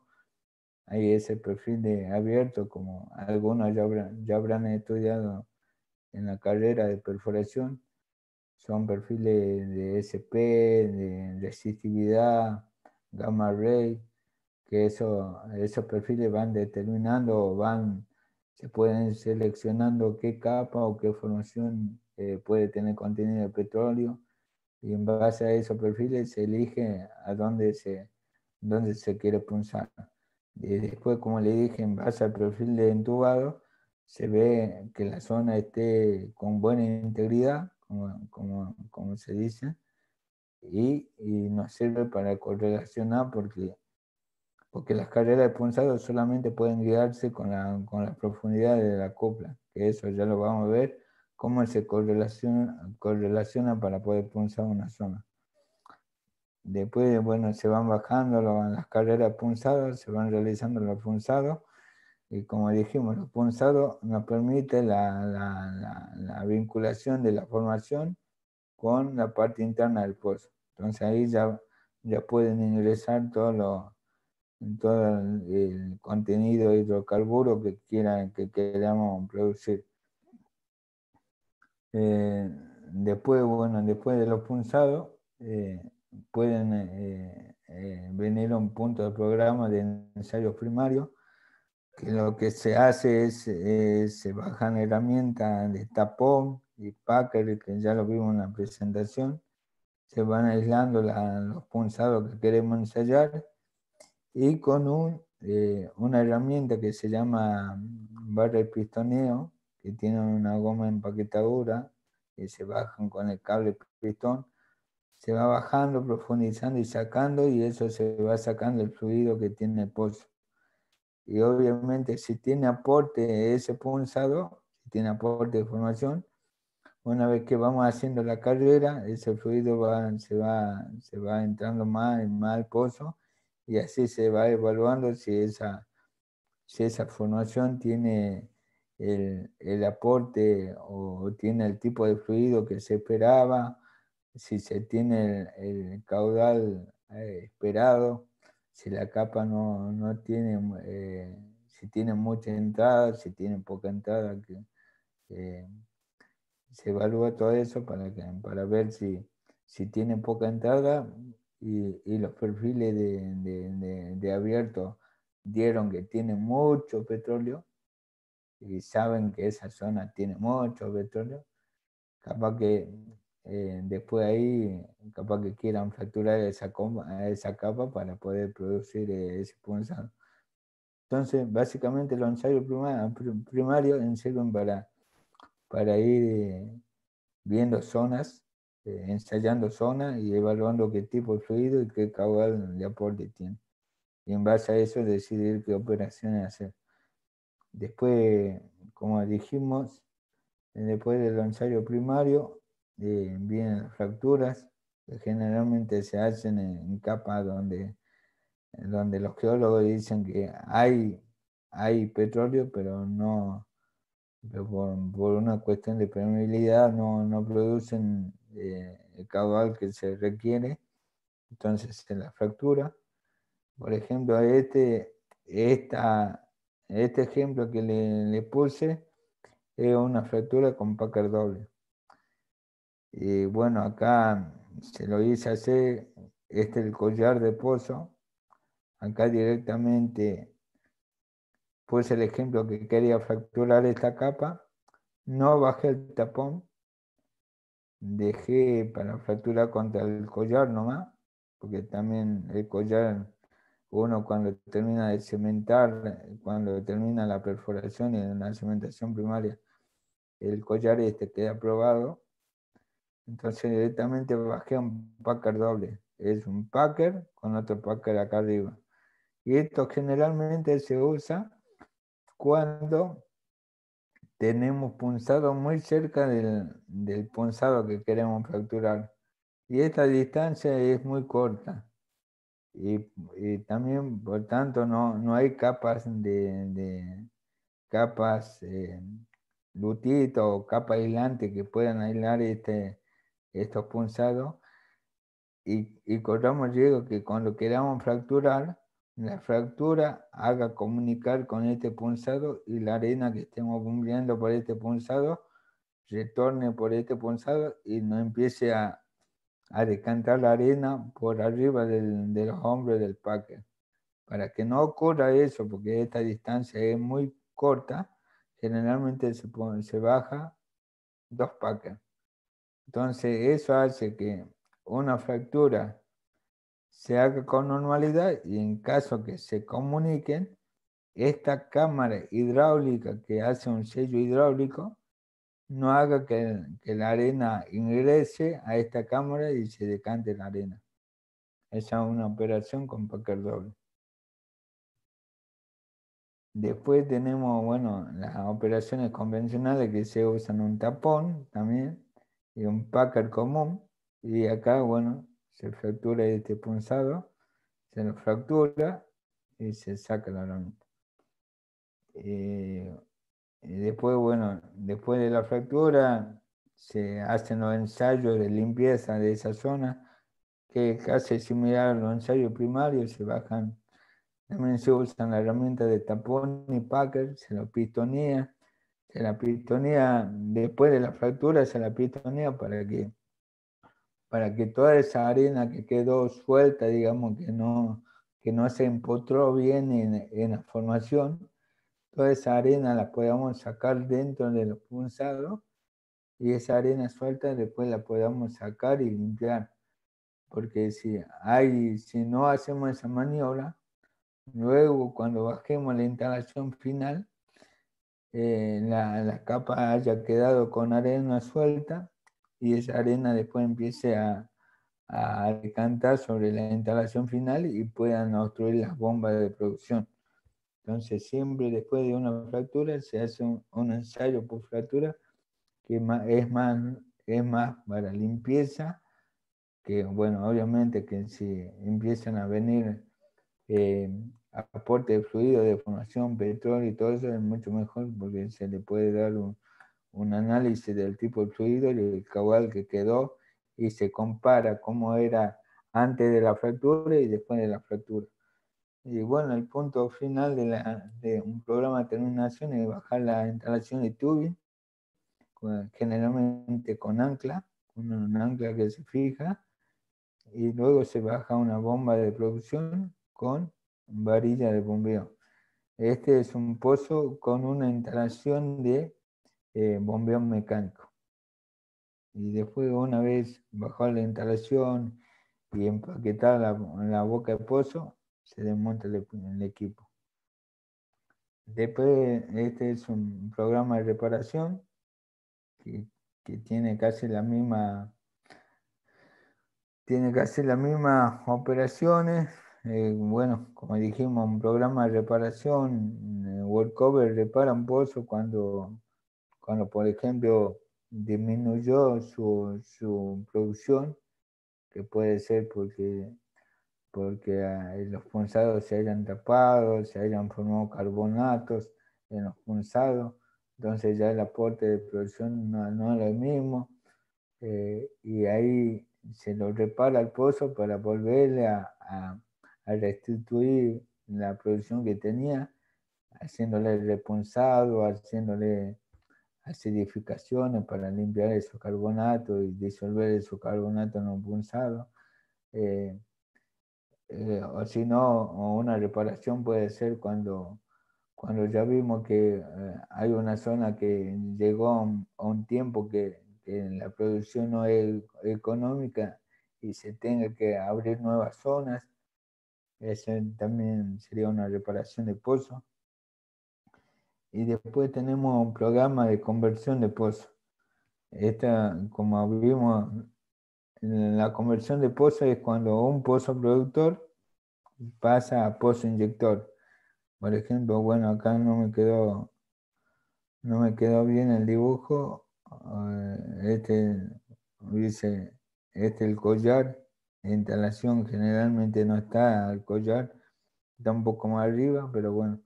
Eh, después de montar el equipo, todo, eh, si a un pozo productor se le saca la, las varillas bombeo con la bomba, se le saca la instalación de tubing, se calibra, generalmente se calibra,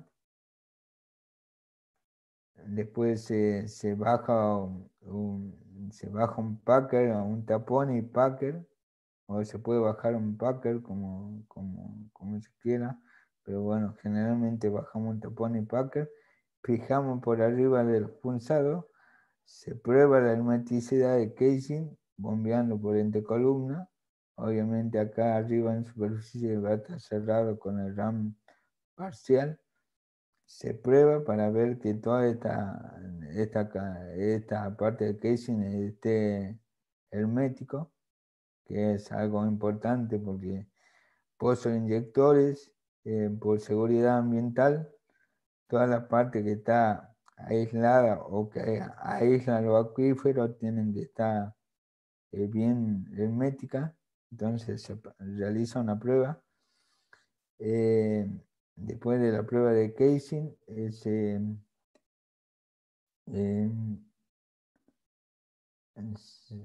se, pueden punzar o repunzar en la zona.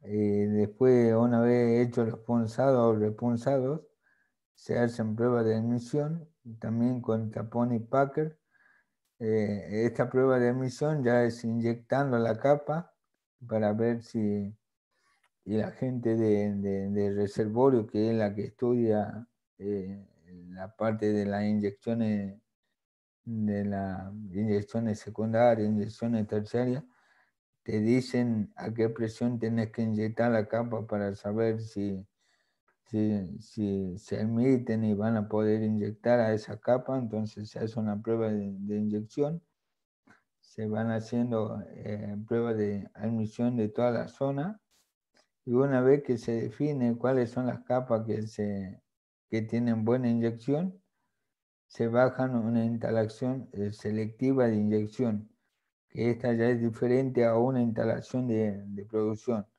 Como vemos, eh, tienen tubing y tienen packer y tandem, que bueno, que son herramientas que van empaquetando al pozo y tienen mandriles, mandriles. Por ese agujerito eh, eh, nosotros inyectamos el agua por dentro del tubing, salen por esas válvulas, tienen válvulas y van inyectando a la zona que quieren inyectar a la gente del reservorio, capas que, que saben que tienen petróleo, pero que no están produciendo, entonces le inyectan agua para ir barriendo ese petróleo y pueda ser producido por otro pozo.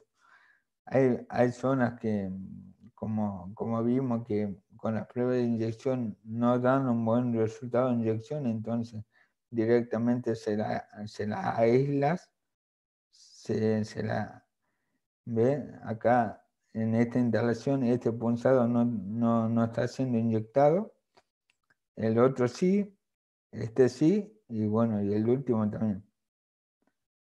Y bueno, no, acá no, acá obviamente no, no, no tiene mandil, está aislado, y el último, obviamente acá la punta del tubing está abierta, eh, inyectan también.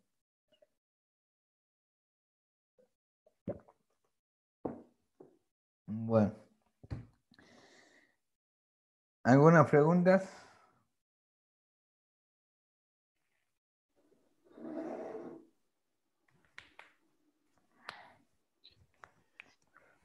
La terminación de un pozo, ¿cuánto tiempo lleva más o menos?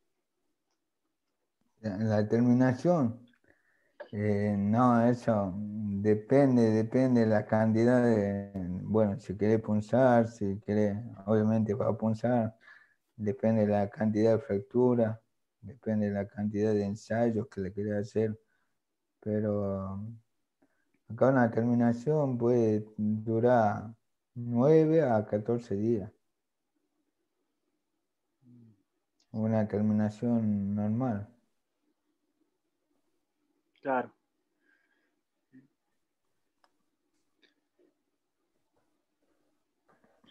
Yo aquí una pregunta general sobre lo que es este World Cover. Eh, vimos que había este, operaciones que se hacían este, desde la reparación, limpieza, cementación secundaria, fractura hidráulica, tapón cemento y por último terminación. Este, eh, a todo eso se dedica el World Cover, así, en palabras simples, ¿qué es lo que sería?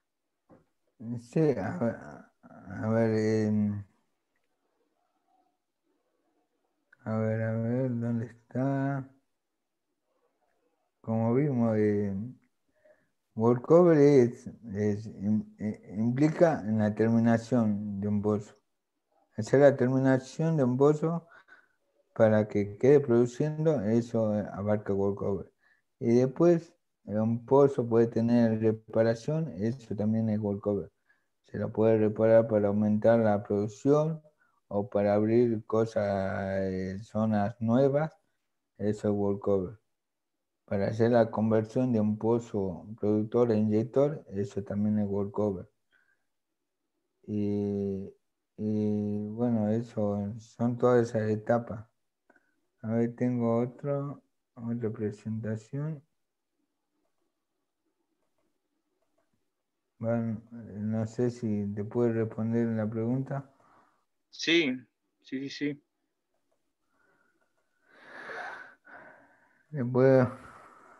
¿Cómo se diferenciaría la terminación de una completación? Eh, es lo mismo. Terminación y completación es lo mismo. Disculpen. Para mí no.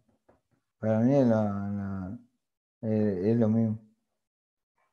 Porque vos estás completando, o sea, perforaste un pozo y lo estás completando, digamos, para que ese pozo entre en, producción. Perfecto.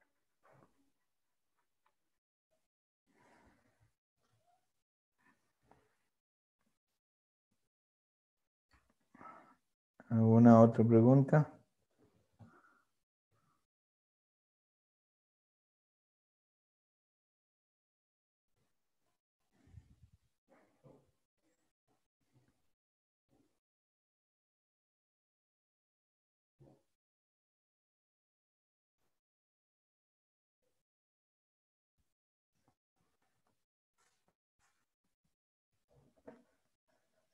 ¿Están ahí, chicos?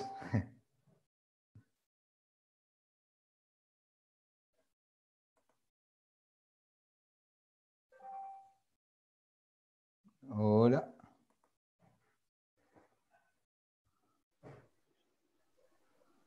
Sí, ingeniero, este, aquí en el chat, este, el ingeniero Belson este, comentaba este, algunas cosas que, y mientras seguía con, con la presentación, las fue leyendo, Ah, bien.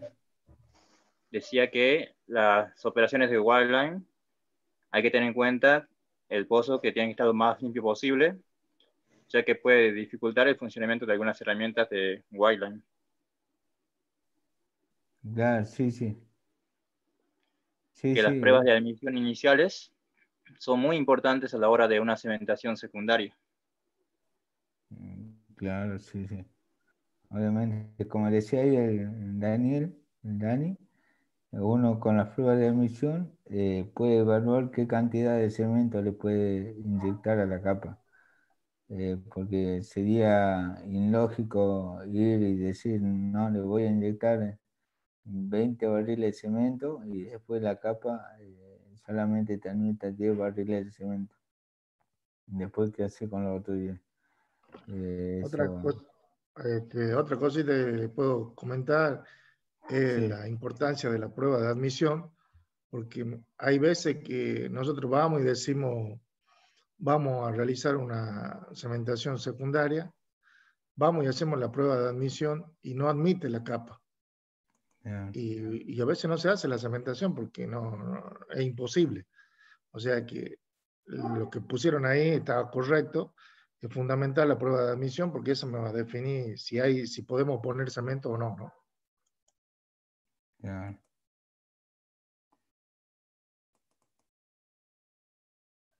Así que algo, algo más, chicos.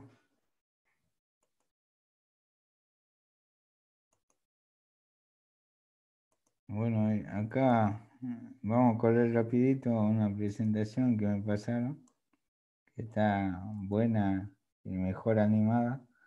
Bueno, para la empresa donde yo trabajo eh, están clasificadas distintas etapas eh, de la construcción de un pozo. Etapa 10, construcción de locación y camina. Etapa 20, la perforación del pozo.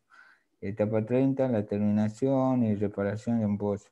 Y la etapa 40 sería la instalación de producción y puesta en marcha.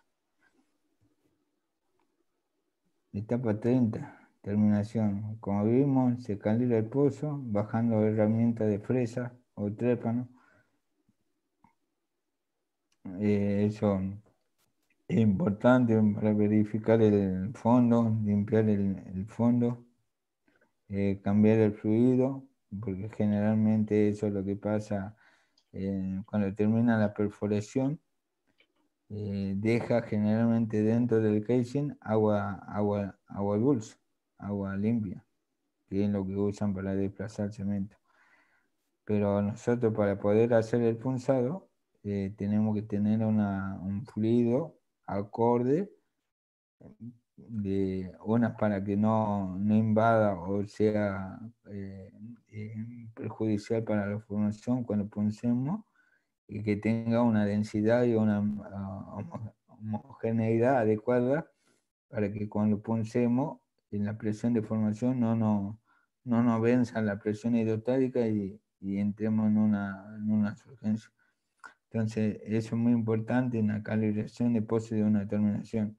Limpiar la cañería y cambiar el fluido. Sacamos la herramienta, eh, perfilamos el pozo, que bueno, acá es lo que dijo el ingeniero Cristian. Eh, también la carrera calibre nos no, certifica que la, que la herramienta esta de Wordline que van a perfilar el pozo van a poder bajar adecuadamente, que no van a quedar aprisionadas. Eh, bajan la herramienta de perfil. Una vez realizado el perfil, eh, sería este tipo de perfil de entubado, a donde podemos ver la calidad del cemento, la adherencia del cemento y podemos ver las coplas, dónde están las coplas del, de los cases. bueno, algunos que ya están avanzados en la carrera van a poder ver que acá hay un buen cemento. Eh, acá también hay un buen cemento. Eh, después se bajan los cañones punzados y se van punzando. Y se desmonta el equipo de Después entran la herramienta de ensayo que ya vimos, el tapón, el packer. Bajan, fijan el tapón, la dejan ahí fijo porque este tiene un pescador que se desvincula, queda fijo el tapón. Antes de, antes de, antes de librar este packer, bueno, acá está mal, mal, mal, queda un poquito más arriba, pero eh, teóricamente este packer queda fijado en zona ciega también para que se pruebe el tapón, la hermeticidad del tapón. Una vez que se realiza la prueba de hermeticidad del, tapón, se desvincula el, el, packer y se lo levanta el packer a zona y, y ahí empieza la carrera del ensayo por pistoneo, sacando cada carrera que se hace va sacando el fluido que está por arriba de la copa de pistoneo y eso hace que vaya reduciendo la presión hidrostática y también se haya, vaya incorporando el fluido de la, de la, formación del pozo. Eh, con el ensayo se puede determinar el caudal, nivel, tipo de fluido, porcentaje, porcentaje de agua, pH y salinidad del, del fluido de formación. Bueno, estos son, son algunos gráficos donde se van evaluando qué capa trajo agua, qué capa trajo petróleo. En base a eso se va definiendo cómo se va a bajar la instalación final de producción.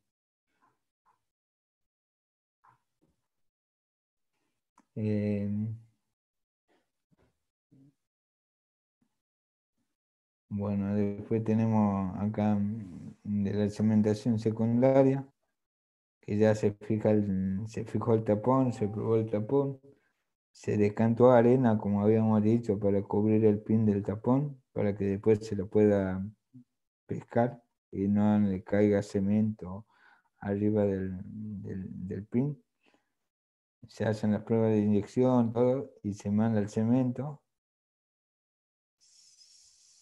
se, se libra el paquete, se circula para que quede todo, eh, todo el rastro de, cemento que, haya quedado eh, dentro de la cañería eh, salga y se pueda sacar el packer. se deja en fragüe y después una vez fraguado se baja una fresa, se rota el cemento eh, una vez, bueno, acá, una vez eh, rotado toda la zona de punzado, se puede hacer una pH de, hermeticidad de, de, la cementación. Si queremos saber si realmente la capa esta quedó aislada, eh, se le hace una prueba de hermeticidad. Se continúa rotando todo el cemento, se lava la arena que estaba dentro del pin del tapón, arriba del pin, del tapón, se circula hasta el retorno limpio y bueno, y después ya quedaría bajar de nuevo para recuperar el tapón. Y en la fractura, bueno, como vimos, también se usan tapones y packer se bombea un colchón de fluido limpio que, bueno, ahí se hacen el bombeo de calibración, que, bueno, eso, eh, después si, si, están interesados en fractura, yo les puedo hablar y pasarle contacto de, de un especialista en fractura que puede dar una presentación, ya estuve hablando ayer con él, que bueno, el bombeo de calibración a uno uno ve todos los parámetros de la formación, comportamiento, la presión de cierre, las presiones de, de, fricción que tienen acá el punzado. Eh, después con esos valores se chequea si realmente el programa de fractura va a ser el adecuado para fracturar esa zona. Se manda todo lo que es el colchón que abre la fractura y después se manda el colchón ya con, con, la arena de sostén. Se desplaza la arena en todo el tratamiento colchón con la arena, queda la arena dentro de la fractura, después se ensaya para que pueda toda la arena que quedó eh, suelta, digamos, eh, sea sacada de la formación y después sea limpiada para que no, haya, no haya problema en el momento de producir el pozo. Y, queda, queda, queda la etapa de, fractura. Bueno, acá algunos valores. Se ve de los ensayos de post-fractura que caudales eh, cómo quedó con respecto al, ensayo primario, qué caudales tenía primero y después cómo, con qué caudales terminaron al final. Y, bueno, y la instalación de producción, de acuerdo a los ensayos, los ensayos de post-fractura, los caudales, los aportes que tuvimos, se define qué, qué sistema de instalación final se puede bajar. Tenemos instalación de bombeo mecánico, que se usa en superficie, se, se usa un, un AIB, que es el, el, cigüeñal que generalmente vemos en, toda en todas las presentaciones. Y después tenemos estación de bombeo con PCP, eh, que son eh, bombas con, con, que giran las varillas y van, van extrayendo el petróleo, una bomba electrosumergible, gas y bueno, y, otros tipos de, de instalaciones que, que hay en, en, en, la industria petrolera. Eh, yo lo que conozco solamente es el AIB, el PCP y electrosumergible, que me ha tocado bajar ese tres tipos de instalaciones. Bueno, en la etapa 40 te define el diseño, la profundidad de la bomba, el tamaño, etc. Después, bueno, queda armar y bajar la instalación de producción de acuerdo al, diseño que te pasa los ingenieros de producción. Y después, desmontar el equipo Workover.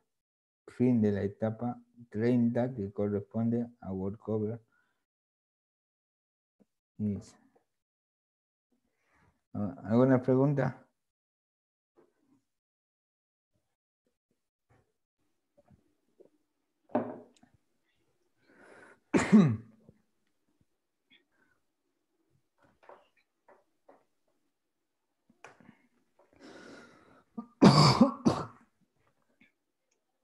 Cuando se hizo la cementación secundaria, eh, vi que se recuperaba el, tapón o, packer que estaba, se dejó abajo y después que el cemento se fue a la formación. O sea que el cemento todavía estaba este, ¿cómo se dice? Este, eh, sin fraguar cuando se lo retiró.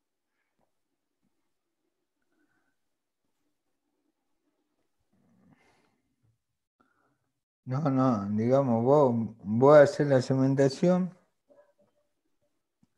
y, una vez, eh, bueno, habíamos hablado ya en la presentación anterior, vos inyectás el cemento y lo vas desplazando una vez que termina, casi que estás casi por terminar el volumen teórico de tu desplazamiento, empieza la etapa de excitación del cemento. Vos ya sabés que en esa parte ya tenés cemento entrando a lo punzado, empieza una operación que se llama excitación del cemento, a donde vos tenés el tiempo de, de pérdida de bombeabilidad ese tiempo lo tienen que tener en mente porque ese tiempo de bombeabilidad, de pérdida de bombeabilidad, empieza desde cuando vos preparás tu lechada de cemento en, superficie. Entonces, todo el tiempo que vos lo preparás y lo vas bombeando por el, por el interior y va entrando, todo ese tiempo se va consumiendo. Entonces, tenés que tener en cuenta siempre ese tiempo. Entonces, cuando vos ya lo desplazás eh, eh, con agua al cemento y ya está por cumplirse todo el, volumen teórico de, desplazamiento, para, para que un, poco de tiempo, de acuerdo al, tiempo restante que te quede de bombeabilidad, y lo vas excitando, vas haciendo que para como que pierda un poco de consistencia el cemento Después le bombeó, otro un poquito de caudal, que son poco, 0.1 de barril de desplazamiento, 0.2 barriles de desplazamiento. Entonces vos vas a ir construyendo una carta de presión donde vas viendo que la presión va aumentando. Eso quiere decir que el, el cemento que ya ingresó a la formación ya se va consolidando entonces, cuando vos ya terminás de cumplir tu, tu, tiempo de bombeabilidad, ya está. Ya teóricamente ese cemento eh, ya está, ya, quedó ahí quieto, ya no, tendría por qué moverse. Entonces ahí recién, si querés, le da un tiempito más de margen para que se termine de, de consolidar. Eso también vos vos lo vas viendo en superficie porque te hace sacar muestras de cemento y lo vas comparando, que realmente no, no es lo mismo porque el cemento acá está sometido a presión y temperatura, o sea que se, se va consolidando mucho más rápido que, que, una, que una muestra que puede estar en superficie. Pero bueno, eso eh, tiene mucho que ver con, la, con, la, con las prácticas del operador, la zona, eh, todo. Y, pero teóricamente cuando ya termina el, tiempo de eh, pérdida de bombeabilidad, ya ese cemento no se tendría que mover de, de los punzados. Y obviamente, sí. ¿Te puedo dar una ayudita ahí? Sí, dale. Mira, eh, para que se ubiquen bien los muchachos, cuando se está bombeando ese cemento, arriba del bombeador hay unos instrumentos eh, que se llaman monitores, que vos estás monitoreando el la presión y el caudal. Y antes, como decía Manuela, este, antes de la operación, vos tenés una carta de laboratorio.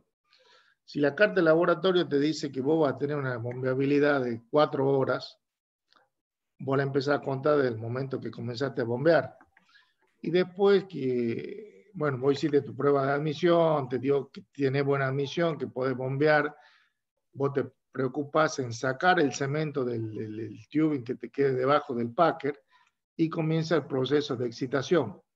Suponete que vos hayas diseñado ocho barriles para excitar y ya empezar a contar el tiempo. En un momento la presión va a ser, vamos a decir, 2000 psi, lo excita, no pasa la, la, barrera de fractura, suponete que la barrera de fractura sea 3000, vos llegás hasta 2000, soltás la bomba y entonces esa presión empieza a caer un poquito, vamos a caer que caiga hasta, hasta 1500, volvés a excitar, vuelve a caer la presión, volvés a excitar, vuelve a caer la presión. Y llega un momento que esa caída se hace menor en el tiempo y es cuando vos ya empezás a ver tu carta, que llega un momento que vos excitas y, no, no, no entra nada, digamos que no podés inyectar nada contra la formación, el momento que el cemento también ya se te está fraguando, ¿no? Entonces vos tenés que ver, eh, como decía Manuel, el tiempo de, de, de bombeabilidad y cómo marcha la operación, eso vos lo vas viendo en el monitor. Y ahí cuando ya no puede inyectar, prácticamente va a tener una línea horizontal, vamos a decir de 2000 psi, y ya no puede meter más cemento. Puede ser que ya esté en la hora, en el tiempo de fragua o que ya no pueda dejar más cemento. Ahí vos ya terminaría tu operación. Si se, se, ve que no entra más cemento, se ve que no puede levantar más la presión y después dejar, de, dejar el tiempo de fragua que te dice el laboratorio. Otra cosa, si el laboratorio te dice vos tenés tres horas de fragüe, vos por lo menos deja el doble de eso para saber que ahí abajo con la presión y temperatura el, cemento está fraguado al 100%. Disculpa, la pregunta. algo, algo sí, se pueden ver, esto es una operación que hice yo. No es el gran ejemplo de la excitación, pero bueno, algo así. Se va excitando, se levanta, se deja que caiga se levanta, se levanta. Emanuel. Sí. Eh, el proceso de excitación es entonces sobrepresionarlo a bajo caudal al, a la dechada para que entre eh, perfectamente, digamos, la formación y así que este, como acelerarle el fragüe en la zona y quitarle el agua libre que tiene el, la dechada. ¿Es eso el proceso de excitación? Eh, sí, en cada, en, cada, piquito de presión que vos, vos le vas generando, eh, va liberando su, su composición de agua y eso va haciendo que, que se vayan formando las capas, los, nódulos de cemento en, el punzado y te quede realmente obturado el punzado. ¿ves? Lo que vos haces ahí es un revoque. O sea, a medida que vos vas presurizando, como vos, no sé quién fue el de la pregunta, cuando vos vas presurizando, lo que va formando un revoque y va perdiendo filtrado. Por eso hay otro punto fundamental eh, en la lechada, hay que tener un buen filtrado, debe ser un filtrado especial para las cementaciones cuando se hace squeeze. Vos vas formando un reboque frente a la capa, cosa y perdiendo, perdiendo agua, ¿no? Esa pérdida de agua con la temperatura, todo, también es lo que va produciendo el fragua, ¿no? Con el tiempo también de bombeabilidad. Entonces llega un momento que vos ya no tenés cómo hacer filtrado y debido a la temperatura y el tiempo, el cemento ha fraguado y vos estás haciendo prácticamente una prueba de línea, si es que querés llamarlo así, ¿no? Si vos tuviese ahí, este, Emanuel, un, tenés un trabajito de, admisión. Eh, ah, ¿no estaban viendo? Uh. Donde vos podamos ver cuándo vamos excitando y, cómo la curva cada vez va haciendo como un diente de sierra y cada vez con una menor caída hasta que llega un momento que queda prácticamente una línea recta, ¿no? Ah, ahí está. Ah. A ver, convertir, vamos a convertir la pantalla. Ahí pueden ver. A ver. Sí.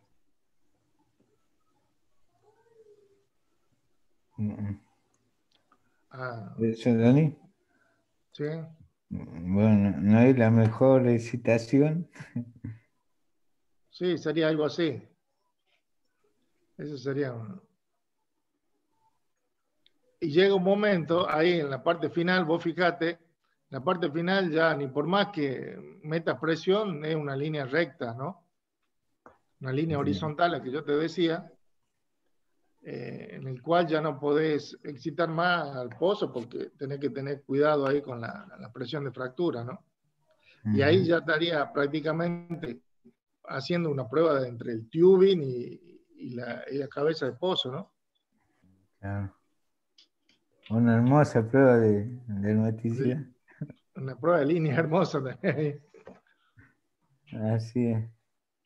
Entonces, ahí fíjate, en la primera, baja un poquito ahí, Manuel, yo no lo puedo mover. Nosotros ahí estaríamos admitiendo un poco de presión. A ver, volvamos a la gráfica.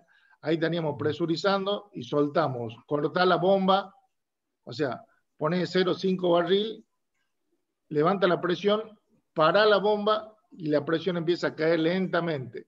Volvé a presurizar, corta la bomba, cae la presión y lo lleva así. Ahí le está quitando, eh, le está haciendo una, como una prueba de filtrado frente a la formación. Y ahí el cemento eh, se va este, fraguando, ¿no? Para que te forme un cake ahí entre el punzado y el anular, ¿no?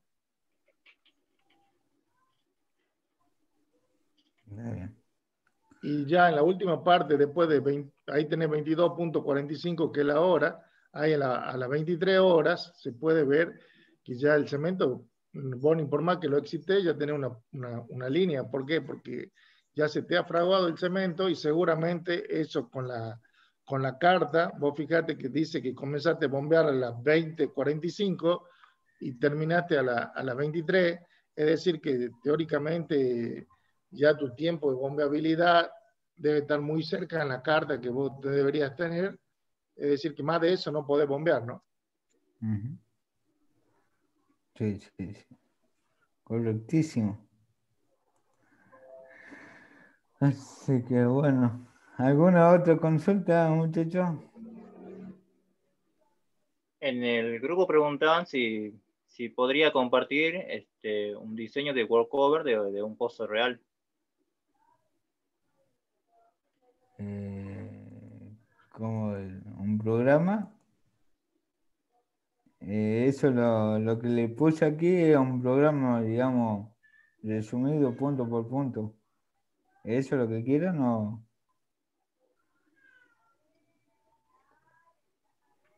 Creo que se refería a algo real, a un trabajo real que se haya hecho acá en el país.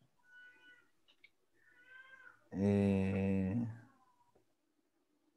Sí, digamos, la, los programas de, de, de, Gold Cover son estos puntos que, bueno, que a cada punto se le van detallando algunas cosas, como por ejemplo, si queremos punzar, se le dice cómo tiene que montar el equipo, eh, cuántos metros va a punzar, en qué profundidad van a punzar y todo eso.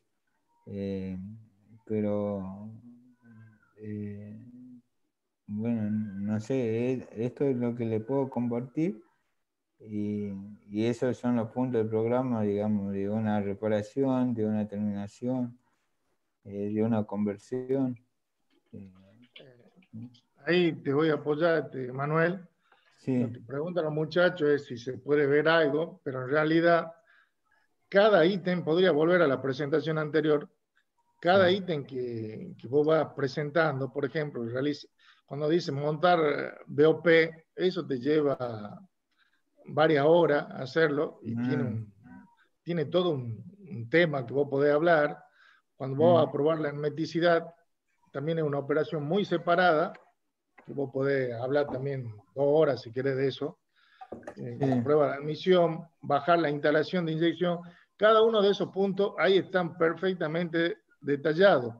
Lo que pasa que eh, después cada uno de nosotros, si quiere estudiar bien cómo se realiza un perfil, cómo se baja una instalación selectiva, es un punto que te va a llevar, cada ítem de eso te puede llevar un punto que, que podés estar un día estudiando, ¿no? Y entonces ahí Manuel lo que hizo lo fue detallando y en realidad cada uno de estos temas, eh, como dice, bajar una instalación de inyección, realizar un perfil de neutrón fino, bajar la instalación selectiva, cada, eso, cada esos tópicos pueden abrirse y subdesarrollarse en un día de charla, ¿no? Sí. Eso es lo que más o menos le trato de pasar. Sí, sí, bien. Bien, Dan. Ok, bueno. Sí, ¿alguna pregunta más? Sí, ingeniero, este, con, respecto a ese programa que decían, eh, es eh, si algún diseño que ustedes hacen de Worldcover, a eso se refiere con si lo puede compartir eso. Yo esta, acá ahora, de la presentación, esta es mi máquina personal. Yo todo lo que tengo en, ah. mi máquina de trabajo, lo, que le puedo compartir, algo, digamos, algo real, real, es eh, unos videos. Pero bueno, algunos videos de algunas operaciones que, hicimos en el campo. Eh, pero programas así ahora no, no tengo cargado en esta computadora.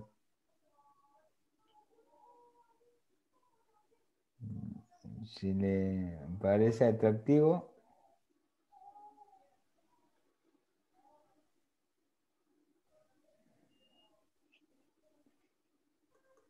Ahora. Sí, sí, sí, sí, este, ingeniero.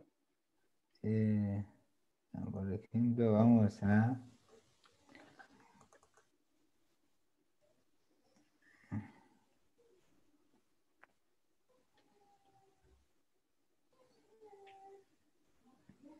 Eh, por ejemplo, vamos a ir a este. ¿Cómo correlacionar un punzado para, para hacer el punzado.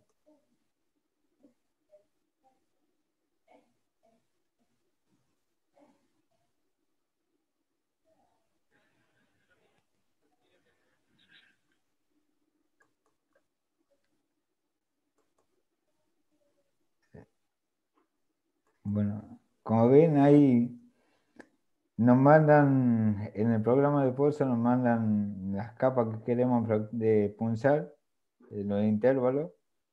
Eh, esa, esa profundidad están de acuerdo al perfil de pozo abierto que se hace durante la perforación.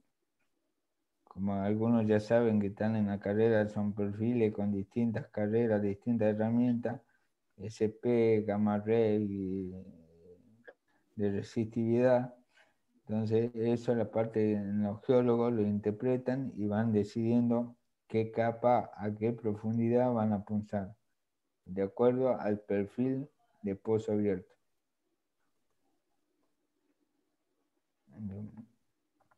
es lo que está explicando, que bueno, esa es la curva de resistividad, que, que ven el comportamiento, quiere decir que después tenemos la curva del SP, que también nos da otro comportamiento.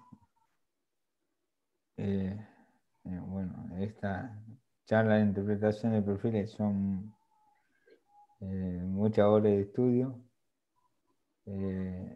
Y bueno, así van definiendo las capas. Esa es una capa que la gente de reservorio identificó como buena, buena, que tiene contenido de petróleo.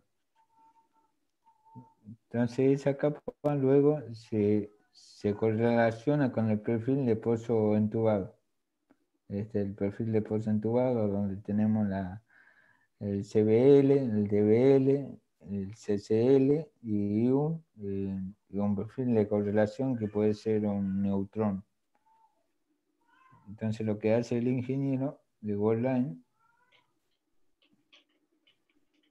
eh, coloca por encima y trata de, replicar el comportamiento de las curvas. No tienen el mismo amplitud, ni, pero sí van a tener el mismo comportamiento. Entonces lo, solapa una curva con la otra.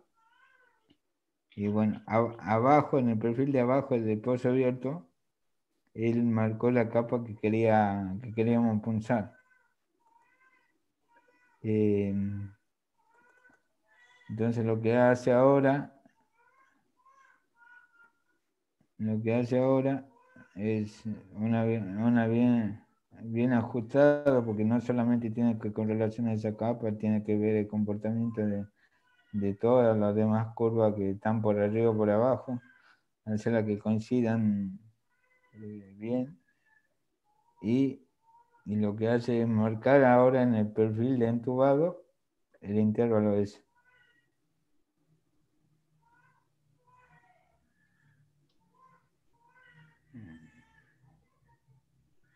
Entonces, ¿para qué hace ahora? Entonces, ahora, una vez bien correlacionado, esa profundidad que nos dieron en el perfil, en el programa de punzado, es de acuerdo a la profundidad de, ese perfil de, de, pozo abierto.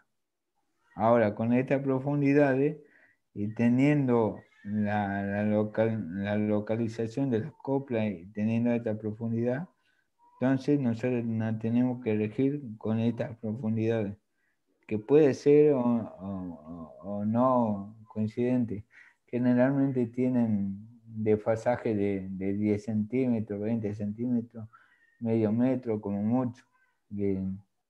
entonces, esa es, eh, ya una vez correlacionado, esa es la nueva profundidad en donde van a punzar. porque como le dije, nosotros la mejor forma de, bajar el cañón es localizando las coplas y en base a eso ya, ya eh, ponemos en profundidad el cañón y, podemos punzar la zona, eh, punzando la zona de interés. Por ejemplo, quería acá, acá, a ver si se ve. Por ejemplo, acá, creo que decía 1212.5 donde teníamos que punzar según el perfil abierto. Pero según el perfil entubado, correlacionándolo, ahora tenemos que punzar en 1212.4, 10 centímetros más arriba.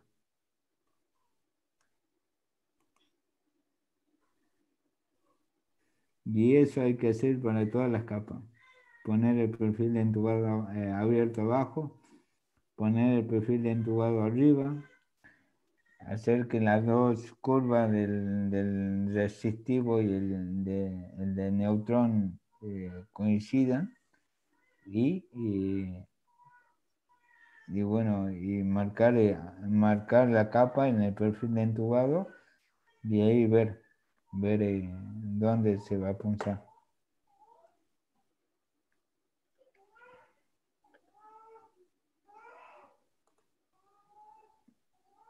Después, bueno, de Worldline tenemos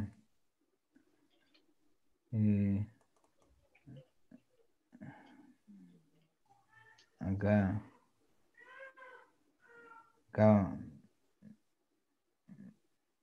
acá, van la herramienta de, perfilaje, la herramienta, los cañones. Eh, a ver, tengo una donde, donde podemos ver todo.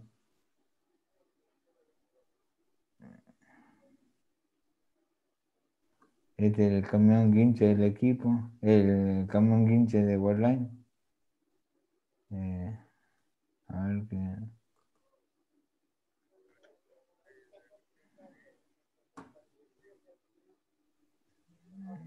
Bueno, estas son herramientas de perfilaje de cemento.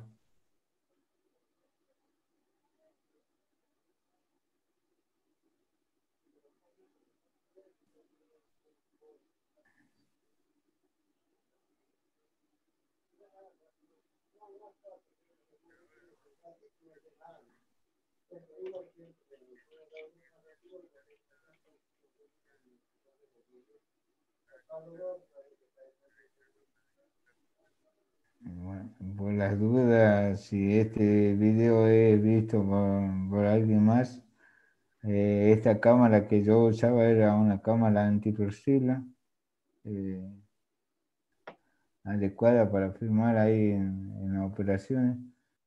Así eh, hacía mi análisis de riesgo correspondiente para usar la cámara.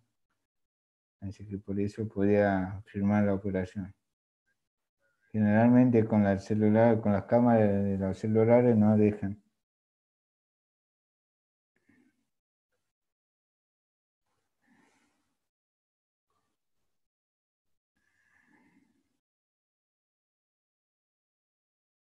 Bueno, ahí está el camión, que ahí como ven pasa el cable de guinche.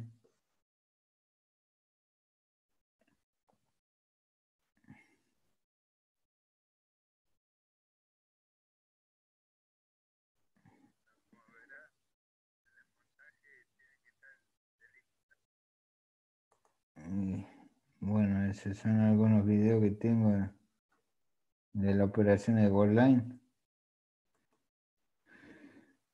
Después tengo algunas operaciones de video de fractura. Que acá, bueno, eh, lo primero que hay que hacer eh, en la operación de fractura es hacer ensayo de la previo en laboratorio, que bueno, se le realiza un ensayo en base teóricamente al gel que van a llevar y lo que se hace es corroborar ahí en el equipo que el, que el gel con la carga polimérica que, que, llevaron, el agua que se está utilizando en el campo sea la adecuada y, y, te dé los mismos valores que en el, que en el laboratorio. Todos esos valores se chequean antes de, de iniciar la operación. Eh, después, después, bueno, ahí estaban, acá van a ver eh, de que en el, primer video era gel lineal, ahora le van a poner los activadores para que se forme el gel crolinkeado. Y bueno, ahí se, también se evalúa de que, de que realmente se forme, se forme el gel.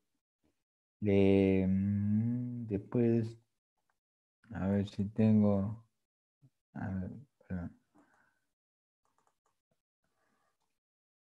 Ahí que se corrobora en el campo que con el agua usada, con los compuestos que, llevaron al campo, se genera el gel adecuado de la fractura.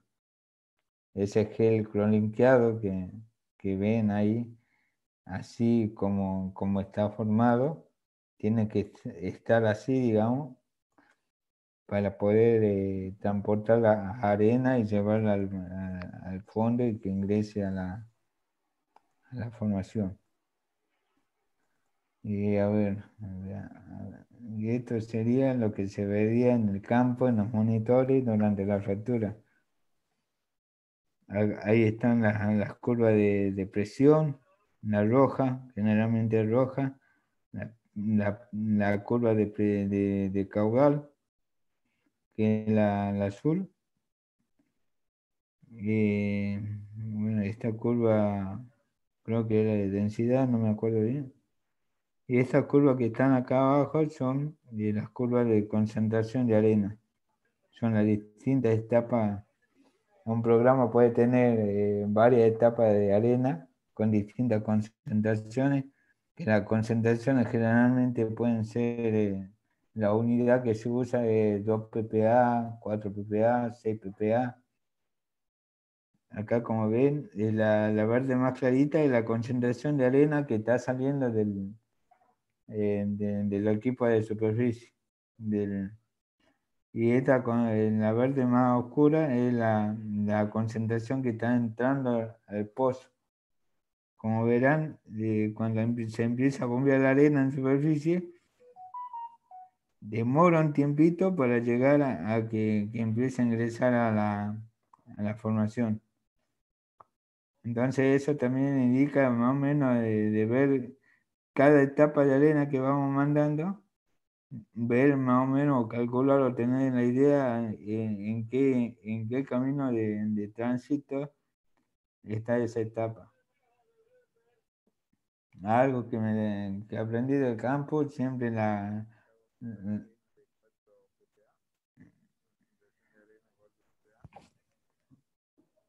algo que aprendí en el campo, dicen que siempre hay que prestarle mucha atención a la arena de 4 ppA, que cuando esté entrando esa concentración al, al post, que esa es la crucial y hay que ver el comportamiento de la presión, cómo, cómo hace, si, si tiende a incrementarla, bueno, hay que tener cuidado de que en cualquier momento tiene que parar la, la operación de fractura. Si ves que la, que la presión, bueno, incrementa, pero no tiene un incremento leve o normal a la zona, bueno, se puede seguir bombeando. Bueno, acá no sé qué, hubo una falla de succión aparentemente, por eso disminuyó la presión y disminuyó el caudal, pero ahí se volvió a, los valores que tenía.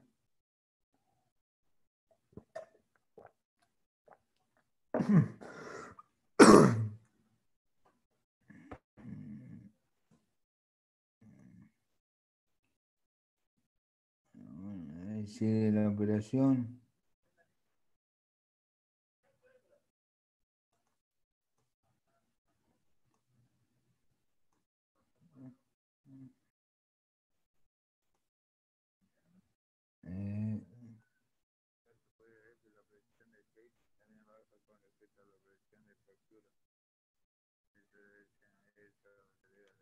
Ah, perdón, perdón. Este creo que era la presión de Case. Sí, presión anular, la negrita. Esa es importante también chequearla porque si llega a haber un aumento de esta, quiere decir que se comunicó la fractura con los punzados de arriba. Entonces, eso eh, quiere decir que inmediatamente tenemos que parar la fractura porque si se comunicó con el punzado de arriba, me puede caer arena arriba de la herramienta del packer y quedamos aprisionados.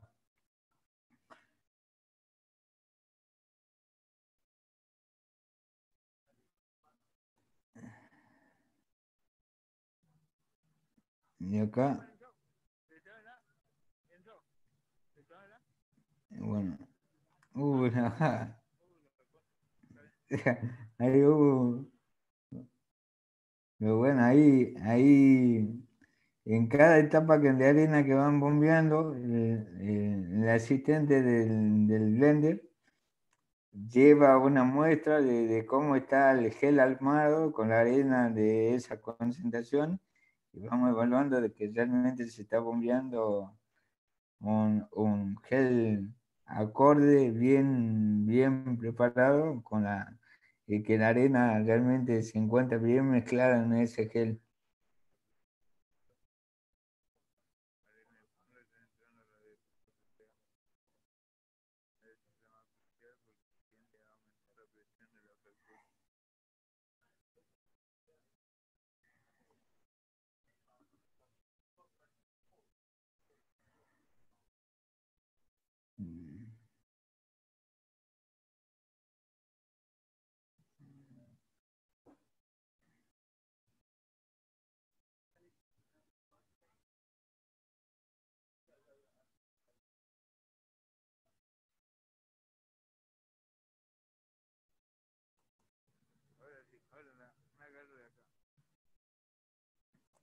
Ahí hacemos la, la prueba, que se forme la lengua, que no esté,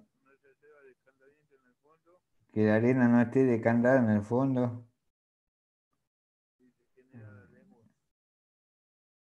Eh, bueno, eh. así que bueno. Estos eran un ingeniero chino. Así que bueno. Espero que, bueno, eso por ahora tampoco no quiero cansarlo mucho, muchachos. Espero Sí, que les haya gustado.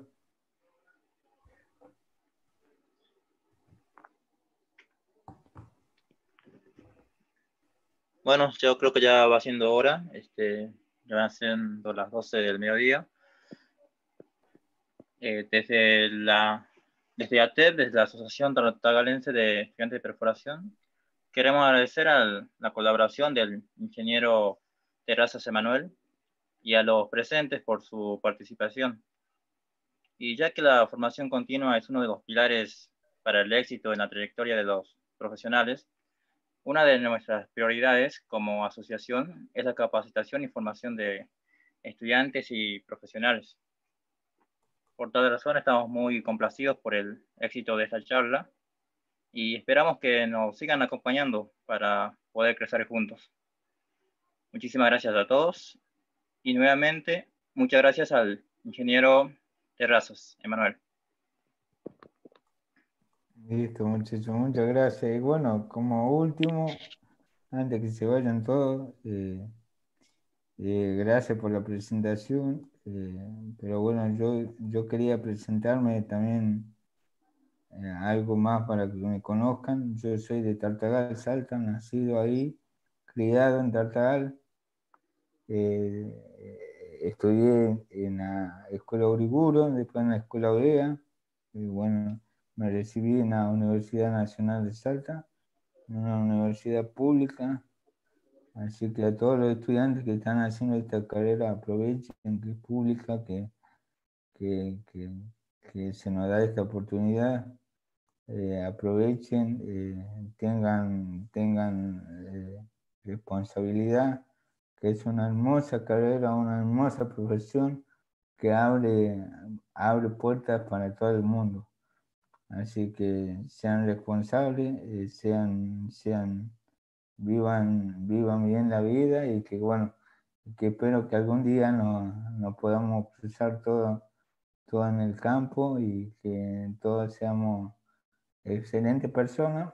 En primero, en principal, hay que ser excelentes personas y, y luego excelentes profesionales. Así que muchas gracias, muchachos. Muchas gracias. Muchísimas bueno, gracias por Muchas felicidades. Eh, ingeniero, bueno, de, de Sí. la asociación eh, y también de la universidad, darle muchísimas gracias por esta, por estas palabras y por la, por la, por la temática. Justamente a los alumnos que están cursando Perfo 4 le viene de 10, por mañana tienen exámenes. Así que con esto nos despedimos cordialmente de todos. Muchísimas gracias por estar presentes y nos vemos el sábado que viene con la siguiente charla que tenemos. Saludos y abrazos a todos. Chao, hasta luego.